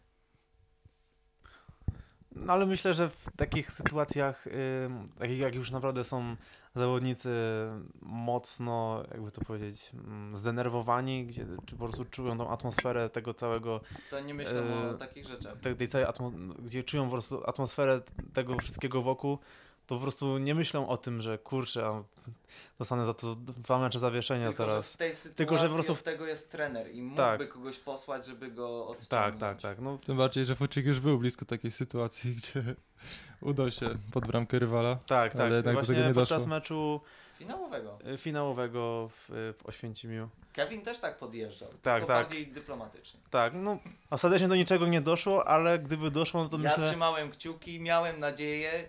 Jedna z nielicznych sytuacji, gdy widziałem, że dwóch bramkarzy zbliża się do środka tafli. Myślałem właśnie, że to, jeśli, jeśli by się coś takiego stało, no to myślę, że ta sytuacja byłaby wiralem yy, w takim, no wszędzie w, w internecie, jeśli chodzi o tą tematykę hokejową, to myślę, że wypisali o Polsce i w, w Ameryce, w Kanadzie, wszędzie. I wtedy należałoby odstąpić od potencjalnych zawieszeń dla dobra hokeja. Tak, no I i, to, było, to byłby na pewno spory ro- rozgłos. E, No ale tutaj stawką w tych playoffach jest to, że jak y, już myśli, jak już się chcesz bić, no to rzeczywiście musisz mieć jakiś tam mm, e, jakąś, musisz wziąć pod rozwagę to, że może być zawieszony i ten kolejny mecz mm, bez jakiegoś kluczowego zawodnika właśnie może być odczuwalny dla reszty zespołu. Tam w playoffach każdy mecz może być naprawdę decydujący. Jeden szczegół może właśnie zaważyć o tym, kto, kto zagra dalej po prostu i kto wygra ostatecznie Mistrza Polski. Okej, myślę, że mamy temat zakończony i zmierzamy już do końca. Mm, Nie udało nam się wróżenie z fusów, jeżeli chodzi o pierwszą Może na szybko. część playoffów, więc pobawmy się w wróżenie A, okej. Y, fusów y, co do kolejnych par, czyli Mhm. już po y, ćwierćfinałach. I słucham waszych typów. To może ja zacznę. E, Tak dla odmiany. Tak dla odmiany. E, to więc tak, mamy parę e, Krakowia, e, Jastrzębie. Tutaj myślę, że ciężki, ciężk, ciężka batalia tych dwóch drużyn. Ostatecznie zwycięsko wyjdzie Krakowia, ale myślę, że nawet 7 meczów tutaj może być. Tym bardziej, naprawdę, tak jak właśnie Kacper powiedział, e, Jastrzębie to jest drużyna, która potencjał ma, jest, potrafi sprawić problem każdej drużynie. No i jeszcze kunszt trenerski tutaj na, ma y, na korzyść Jastrzębian, gdzie moim zdaniem Robert Kalaber jest y, lepszym fachowcem niż Rudolf Rochaczek. Mm, Tu już krąży wiele legend wokół tego, jaki warsztat ma e, krakowski trener. E, Także tutaj pod, pod, od tej strony właśnie e, myślę, że 7 meczów to taki wariant optymistyczny, ale myślę, że jak, na, jak najbardziej możliwy do spełnienia. No a jeśli chodzi o tą drugą parę, e, GKS Tychy, e, Unia, Unia Oświęcim GKS Tychy, tutaj myślę e, 7 meczów i ostatecznie Tychy w finale. I mamy finał Krakowia Tychy, czyli słynny pojedynek przyjaźni. I o finale nie wiem, gadamy czy Przed Jak finałem na pewno się spotkamy. Myślę, że zostawmy sobie to. Okej, bo- dobra. Roz, rozpływać się nad tym, co będzie w finale, jak już z fusów wróżymy no półfinały. pewnie. e, i, i, I z wywróżonych z fusów półfinałów wróżymy, Mhm. to będzie w, No w finale, więc myślę, że bez sensu. Dla Tak. mnie pierwsza para e, Krakowia Jastrzębie. Mimo wszystko wydaje mi się, że ta przewaga indywidualności Krakowi i siły rażenia e, na korzyść ostatecznie przeważy. 7 spotkań, wydaje mi się, że nie. 4-2 dla Krakowi ode mnie. Krakowia w finale. E, no i półfinał, którego z perspektywy kibica Unii Oświęcim błagałem Boga, żeby nie doszło do czegoś takiego, by z Tychami się spotkać, jak już to w finale. I przyznam szczerze, że to byłoby według mnie jedno z najciekawszych starć w ostatnich latach Unia Tychy. Taka powtórka z dawnej historii. E, I być może to teraz Unia by odwróciła rolę. E, Mam nadzieję, że w końcu się to odmieni i Unia znajdzie sposób na, na Tychy na własnym lodzie, bo nie udało się im jeszcze zwyciężyć e, z GKS-em Tychy w tym sezonie, chociaż na wyjeździe było, było, było łatwiej.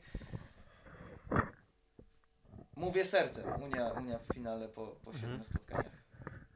Nie powiedziałem Tychy, Ty Unia, także jest 1-1, ale myślę, że tutaj jak patrzę na siłę obu drużyn, to tak już czysto obiektywnie, no to Tychy mają jakby więcej w zanadrzu do, do zaprezentowania. Mi się wydaje, że jeżeli Unia w tym turniejowym biegu w tej chwili doszłaby do takiej dyspozycji, jak, jaką miała w mniej więcej drugiej, trzeciej rundzie, e, to była drużyną tak poukładaną, spokojną i skuteczną, że nie było rywala, który byłby w stanie ją przestraszyć. Na to liczę. Ja jestem pewny tylko jednego finalista, jest nim Komar Krakowia. E, Myślę, że Jastrzębian czeka podobny scenariusz co w zeszłorocznych playoffach, kiedy też bodajże po sześciu meczach z Unią Oświęcim pożegnali się z rozrywkami. E, Jastrzębian jak najbardziej stać na to, żeby zagrozić rywalom, żeby urwać te dwa mecze nawet. E, Ale mm, na przewagę Krakowi przede wszystkim działa fakt tej szerokości i bogactwa kadry zespołu, gdzie trener Rochaczek może y, pozwolić sobie na wystawienie czterech wyrównanych formacji. No jednak trener Kalaber musi dmuchać i chuchać na każdego ze swoich podopiecznych, żeby opuszczały ich kontuzje, bo w Jastrzębiu to jednak od e, tych indywidualnych postaci jest e, bardziej uzależniona postawa całego zespołu aniżeli w Krakowie. A co do drugiego, naprawdę chciałbym się. Chciałbym uciec od odpowiedzi jak mogę. Święta wojna rządzi się zawsze swoimi prawami. I ciężko wskazać mi jej faworyta, a co dopiero jej dokładny przebieg, gdzie tak naprawdę nie zdziwiłoby mnie jednostronne zwycięstwo którejś z drużyn, e, ale liczę na wyrównaną batalię. Najlepiej do siedmiu meczów. Dyplomatycznie. No u mnie s- pomimo y, jakiejś tam sympatii do, do JKH GKS Jastrzębie, to muszę przyznać, że podobnie jak y, wszyscy przedmówcy, raczej y, upatrywałbym tu y, Krakowi, y, a, awansu Krakowi. Natomiast y, no jedyne czego jestem pewny to tego, że Jastrzębie się postawi, bo to jest drużyna w mojej ocenie z, z charakterem i od y, kilku lat jak śledzę ich, no, kilkunastu może nawet lat, to oni zawsze się stawiali.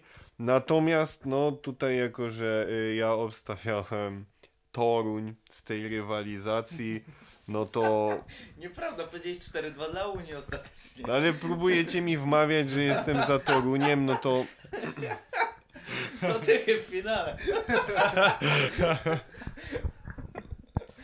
no tych w finale po prostu, no wydaje Ale mi się, nieważne- że nie tutaj Dla ciebie nieważne z kim będą grali? mi się wydaje, że tu tak, dokładnie, no Playoffy rządzą się swoimi Toruniem prawami. czy z Unią, to wydaje mi się, że tutaj już tych y, jednak, bo wydaje mi się, że tu będzie ten drugi pik właśnie e, formy y, i tak jak sam powiedziałeś, finał przyjaźni Krakowia Tychy może Drugi się pik wydarzyć. formy Ale Tychów. poczekaj, tak, drugi pik formy Tychów y, właśnie y, spodziewam się, że nastąpi Mhm. już za kilkanaście godzin się rozpocznie. I tutaj tak jak mówiłem, już no, się rozpoczął, tak nie, nie wydaje mi się, że Tychy będą miały jakiś szczególny problem z którąś z tych dwóch drużyn, które są im e, ewentualnie e, Miód na serce Mateusza, widzę. Znaczy powiem tak, e, z Toruniem na, pewno- byłoby łatwiej, Tychom, bo, bo tak. A z Unią byłoby ciężej z perspektywy tego, patrząc na to, że po pierwsze Unia ma takich dość mocno fanatycznych kibiców. Ciężej by było Tychom na, e, właśnie na wyjazdach, mimo tego, że mm, wygrywali wszystko w tym sezonie na wyjazdach w Oświęcimiu. Unia na pewno nie jest jakimś chłopcem do bicia, e, ale więcej argumentów mają moim zdaniem Tyszanie i tutaj tak jak, w sumie tak jak Konrad, mogę się zgodzić z Konradem, że nieważne czy Tychy zagra, zagrałyby e, ewentualnie z Toruniem czy z Unią, no to dla mnie mm, Tychy w finale, jeśli mogę tak powrócić właśnie. Pytanie też, w przypadku ewentualnego półfinału Tychów z Oświęcimiem, tyscy kibice zostaliby wpuszczeni na Chemików 4. No, myślę, że, że nie. Też wątpię, ale ja chciałbym jeszcze do tego piku. Powiedzmy sobie szczerze, na pik Unii drugi też możemy liczyć.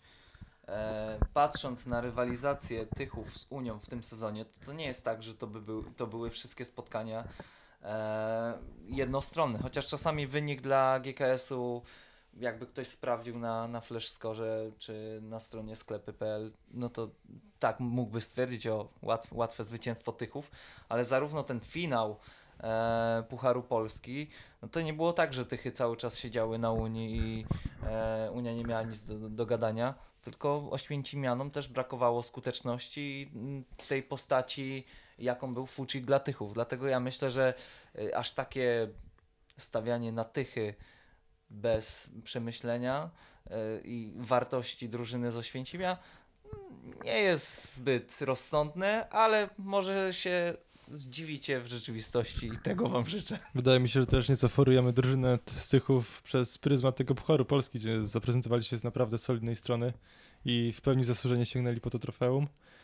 E, Puchar Polski to jednak taka impreza, za przeproszeniem, piknikowa. Poka- no, nie umniejszając ni- niczemu, ale to są... W tym sezonie. No, w tym sezonie choligańska, ale miałem na myśli to, że tak naprawdę spotykają się zespoły na dwa dni, rozgrywają dwa Trzy. No, trzy, teraz trzy. E, Rozgrywają dwa mecze w krótkim odstępie czasu, gdzie każde zwycięstwo oznacza po prostu triumf. No a żeby sięgnąć po Mistrzostwo Polski trzeba jednak wygrać 12 meczów. No a czasu jest naprawdę niewiele na rozegranie takiej ilości spotkań. Tak, y, jakbym miał coś powiedzieć, no to mm, na pewno, tak jak mówię, że forujemy, ale no właśnie pokazali tym Pucharem Polski, że potrafią właśnie w tych najważniejszych momentach y, stanowić taki kolektyw i po prostu tam nie było widać, że ktoś po prostu jest y, gwiazdą drużyny czy nie, tam po prostu było widać y, jakby drużynę, tak? Że tak jak Krakowia y, grała ten pierwszy półfinał, to po prostu było widać tylko tak naprawdę Patryka Wronkę, który próbuje sam y, cokolwiek zrobić. Tak, co chwilę, co chwilę frustrację, a Tychy pokazały po prostu, że tworzą zespół, tak? I myślę, że tutaj e, to było też kluczowe w tym Pucharze Polski i kluczowy też był ten jeden dzień odpoczynku więcej moim zdaniem. To byśmy musieli wrócić właśnie do tego, co ostatnio nagrywaliśmy przed Pucharem Polski, gdzie mówiliśmy właśnie, że ten, ten dzień odpoczynku może być kluczowy. Był, jak się okazało, Unia moim zdaniem w trzeciej tercji bardzo chciała tą bramkę zdobyć, ale po prostu brakowało moim zdaniem sił. No ale pretensje o to powinny być zgłoszone długo, długo wcześniej, tuż po ogłoszeniu terminarza, a nie na kilka dni przed, więc czy nawet y, kilka godzin czy minut po. Więc y, tak Nie, naprawdę no myślę, że nie ma co tu tłumaczyć. się tym- tak, tak, tylko dniem. tak po prostu, wiesz, no, Też nie było takich głosów. znaczy no, Rudolf Rachaczek powiedział, Akurat przed- nie A- a- właśnie ale Rudolf nie grał w- no bo Rudolf by- Rochaczek nie grał w finale. Mówię, że ze strony oświęcimskiego klubu nie padały gdzieś jakieś Mhm. deklaracje, że, że to był problem. E, To już... No wręcz przeciwnie, przecież nawet chyba e, zawodnicy Znaczy, pewnie y, robiąc Sebastian Kowalówka w dobrą... rozmowie z nami wspomniał, Tak. że to na pewno miało znaczenie, ale to nie jest y, rzecz, o której warto mówić, że, że miała wpływ na, y, na wynik tego, tego finału, więc... No tak, tylko tak jak mówię, no to już dla samej jakby zasady to powinno być y, załatwione, ten temat powinien być y, przegadany długo przed, a nie, a nie kilka dni No tak. a nie kilka dni przed, tak? Gdzie Rudolf Klub- Rochaczek nagle wyjechał, że, że mają tutaj kilka godzin na dojazd, że Tak. nie wyśpią się zawodnicy. No to jest dla mnie Gdzie jego klub y, zgodził się na takie warunki no, przed sezonem. no pewnie, no przecież terminarz był wiadomy od początku, może nie, od, nie wiem czy od początku sezonu, ale od długiego, czy na pewno kilka miesięcy przed było to już wszystko Mi się wiadomo. wydaje, że już od początku sezonu było wiadomo, że tak Ale nie chyba, bo, bo nie wiadomo gdzie, był, gdzie byłby rozgrywany. E, tam- Gdzie byłby rozgrywany? Tak, ale że będą trzy dni, to wydaje mi się, że już od początku wiedzieliśmy. Nie chcę kłaść swojej głowy na to, ale wydaje No, mi się, że tak było. To pozostawmy to, ten temat. No, w wydaje mi się, że jakby nie było, to było wystarczająco dużo czasu na jakieś uwagi. E, wcześniej, a wydaje mi się, że to, co e, Rudolf Rochaczek powiedział, to był ewentualnie taki delikatny, mówiąc kolokwialnie, dupochron, gdyby coś tam No do fina- w finale nie poszło. też mi się tak Okazało się, że w półfinale nie poszło i, i tak naprawdę słowa były zbędne, bo e, myślę, że Krakowia się wyspała tej się nocy. bardzo na koniec y, kulturalnie, zaprosił Oświęcimian do Krakowa na, na mecz i I przyjął ich też gościnnie. bo Tak, Unia tak, z tak, Krakowa dokładnie. Wywiozła trzy punkty. Tak, to był piękny wywiad. Nie, nie, nie zapomnę go nigdy. Chyba mamy gdzieś nagranie, może kiedyś się znajdzie w jakimś kanonie. Stawiam się też, że w kontekście tych ewentualnych playoffów ani razu w dzisiejszej rozmowie nie padło bodajże nazwisko Alana Łyszczarczyka, który jest ogromnym wzmocnieniem Krakowi. A powiedziałem. Chyba E, powiedziałeś? tak, raz go wymieniłeś, ale tak... e, Pamiętam, że wymieniliśmy... Jako, że jest, razem Albo- z Patrykiem albo- nie, Wronką. padł, padł na 100%, padł na 100%. a, na- a, na tak, pewno, a tak. nie przed. y, przed Tak. Nie, nie, padł na 100%. Wiem, wiem, że, Przed wiem, też. że padł w kontekście tych mikrofonów, które przed nami stoją, że to właśnie przed nim debiutowały Tak, tak. w tej całej E, instalacji.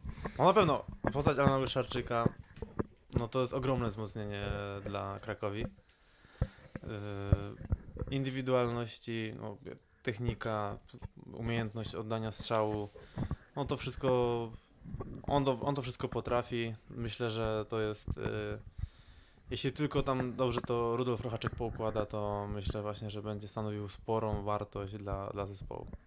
Mi się wydaje, że nie mówiliśmy o Alanie i też o jakichś takich indywidualnych personaliach Krakowi z tego względu, że dosyć pewnie wszyscy stawiamy na Krakowie w finale i wtedy będzie czas na to, żeby rozłożyć te drużyny na czynniki pierwsze. A teraz nawet y, jeżeli w półfinale trafią na Jastrzębie czy Katowice, to dla mnie nie ma większego znaczenia. Ja daję w tym półfinale i tak awans na Krakowie i jakikolwiek inny wynik e, do finału będzie dla mnie zaskoczeniem, bo w finale może się wydarzyć wszystko. E, może być e, tak, jak było w tamtym roku, gdzie Katowice Unii nie pozostawiły cienia szansy na e, dotknięcie pucharu, a może być tak, że Krakowia taki finał przegra na przykład z Tychami. Więc myślę, że, że już przed finałem sobie szerzej porozmawiamy o tym, czy, czy Alan jest e, wzmocnieniem Krakowi, no bo jak na razie też nie miał za wiele szans, żeby się jakoś e, pokazać, a wiemy, że te początki Patryka Wronki w Krakowie też nie były e, proste. Zobaczymy, gdzie będzie Alan ustawiany, z kim będzie grał w formacji ataku, czy będzie dostawał mm, te przewagi, o których tak też często lubi mówić. Zobaczymy. Za mało jak na teraz danych, żeby mówić. Personalnie wzmocnienie wielkie, tak jak powiedział Mateusz, ale jaką wartość dodaną przyniesie do Krakowi, to ja nie wiem. No Ja są dobrej myśli. Pokazał niejednokrotnie, że. Ja trzymam kciuki, żeby to jakoś źle nie zabrzmiało, oczywiście. Pamiętam jego debiut choćby w Trzyńcu, gdzie mm, nawet dał taką. y, no, moim zdaniem to była asysta, ale nie wiem, czy tam ostatecznie w protokole to było ujęte jako asysta. No, moim zdaniem pokazał się naprawdę z fajnej strony i to jeszcze w Ekstralidze Czeskiej. Y, nie obserwowałem go y, we Frytku, ale tam naprawdę ładne liczby wykręcił. Był chyba najlepiej punktującym zawodnikiem w swoim zespole. Y, więc no, forma jest, ogranie jest, umiejętności są, więc Oby się nic nie stało, bo myślę, że wszyscy już gdzieś w głowie mamy Mistrzostwa Świata. tak, no w kontekście Mistrzostw Świata, no to myślę, że sobie jeszcze możemy dużo tutaj spotkań ustalić, pogadać, bo ale na pewno, ale na pewno jest to postać tak jakby nietuzinkowa, jeśli chodzi o, o, o naszą ligę. Na pewno ogromny bagaż doświadczeń, mimo tego, że y, No wiek jeszcze. że, że wiekiem jeszcze po prostu no, ma, dwa, ma 23 albo nawet 24 lata, tak? Nie znam dokładnie Jest- metryki. Rocznik 98? Chyba tak. E, 24 chyba. a już zwiedził tyle lig przecież, że nie jeden zawodnik z polskiej hokej ligi jest o wiele, o wiele starszy mógłbym pozazdrościć, więc e, na pewno wniesie, do, tym bardziej, że podpisał kilkuletni kontrakt, więc bardzo się cieszę, że będziemy takiego zawodnika oglądali na, na, w polskich rozgrywkach, w polskiej hokej lidze. Ja trzymam kciuki, żeby jednak to były tylko playoffy tego sezonu, a w przyszłym, że Alan będzie jednak grał za granicą. Każdy by chciał, żeby jak najwięcej Mówię, Polaków że trzymam kciuki, tak. grało za granicą. Sam Alan w rozmowie ze mną, jak robiłem z nim wywiad niedawno, powiedział, że broń Boże nie zamyka się na, na, na inne ligi, na ligi zagraniczne. Ja jak- najbardziej mu kibicuję w tym, bo potrzebujemy po prostu takich zawodników jak on, potrzebujemy zawodników, którzy odnieśliby sukces za granicą, żeby po prostu ten hokej y, ta dobra wieść po prostu o tym, że hokej w Polsce stoi na dobrym poziomie, y, powinna się nieść. Okej, no myślę, że jeżeli nie macie już nic do dodania, to chyba zmierzamy Myślę, ku że końcowi może i naszego- mielibyśmy, ale czy ktoś tutaj To śmiało, dotrwał? mikrofon jest twój. Czy ktoś tutaj dotrwał? Powinniśmy teraz powiedzieć, kto dosłuchał do tego momentu. Kto dosłuchał, do te, kto dosłuchał do tego momentu, niech y, da znać y, na Twitterze, y, niech oznaczy crosschecka i niech, niech oznaczy z klepy nasz profil na, na Twitterze i wtedy będziemy wi- będzie wiadomo, ile osób dotrwało. Albo w komentarzu na YouTubie, jeżeli nie A, macie. Łapki w górę, e, wszystko Twittera, dawajcie, co tam tak, możliwe, subskrypcje. Niech napiszą dotarłem. O, O, hasło dotarłem. hasło tak dotarłem, niech to będzie motyw przewodni tutaj końcówki Hashtag naszego... dotarłem na Twitterze też z oznaczeniem. O, Mamy chyba rekordowy odcinek. Na no ale też moment. sporo powiedzieliśmy. Tak, tak, tak. Jest Sporo bardzo... tematów poruszonych, tak jak zawsze. Trochę jak, Nie nudziliśmy się. jak rzeka się to rozpływa. Ja mam wrażenie, że jeszcze drugie tyle bylibyśmy w stanie A tutaj. mieliśmy jeszcze solidną rozgrzewkę do naszej dzisiejszej rozmowy. Warto dodać, że tak e, koło dwóch godzin prawie rozmawialiśmy wcześniej, nie? Tak. Także z tematów jest sporo. Hokej na pewno tutaj w- z naszej perspektywy nudny nie jest, e, więc, więc myślę, że jakbyśmy mieli nieograniczoną ilość czasu, bo wiadomo, że trzeba jutro iść do pracy, trzeba wstać i tak dalej, e, i mielibyśmy gwarancję tego, że wszyscy słuchacze dosłuchają do końca, no to myślę, że o spa- kilka, kilka godzin byśmy tutaj siedzieli i dywagowali dalej po prostu na temat playoffów i nie tylko. Na tym Może polega kiedyś. odpowiedzialność. Tak, trzeba A, nasz wstać hokej- rano. Nasz hokej, jaki by nie był, to jest nasz polski. Nikomu Tym patriotycznym akcentem chyba możemy zakończyć dzisiejszą dyskusję. Okej, dziękujemy bardzo, że dotrwaliście do końca. E, No i w zasadzie tyle. Dzięki wielkie za to, że nas słuchacie. Dajcie znać, co myślicie o naszych e, Predykcja. predykcjach. Dokładnie. I Jak się z czymś nie zgadzacie, to oczywiście konstruktywną Milczcie. krytykę. E, ja przynajmniej przyjmę na klatę. Ja, Ja myślę, też. że I wszyscy... liczymy na fanów Torunia, bo macie swojego przedstawiciela tutaj. Tak, tak. Tutaj Toruń ma swojego przedstawiciela. Konrad dzisiaj siedzi w bluzie Forza TKH. Prawie, prawie, prawie. Okej, dziękujemy, że byliście z, wam, z nami jeszcze raz. Już po raz ostatni dziękuję. I trzymajcie się, cześć. Dzięki. Dzięki. Na razie.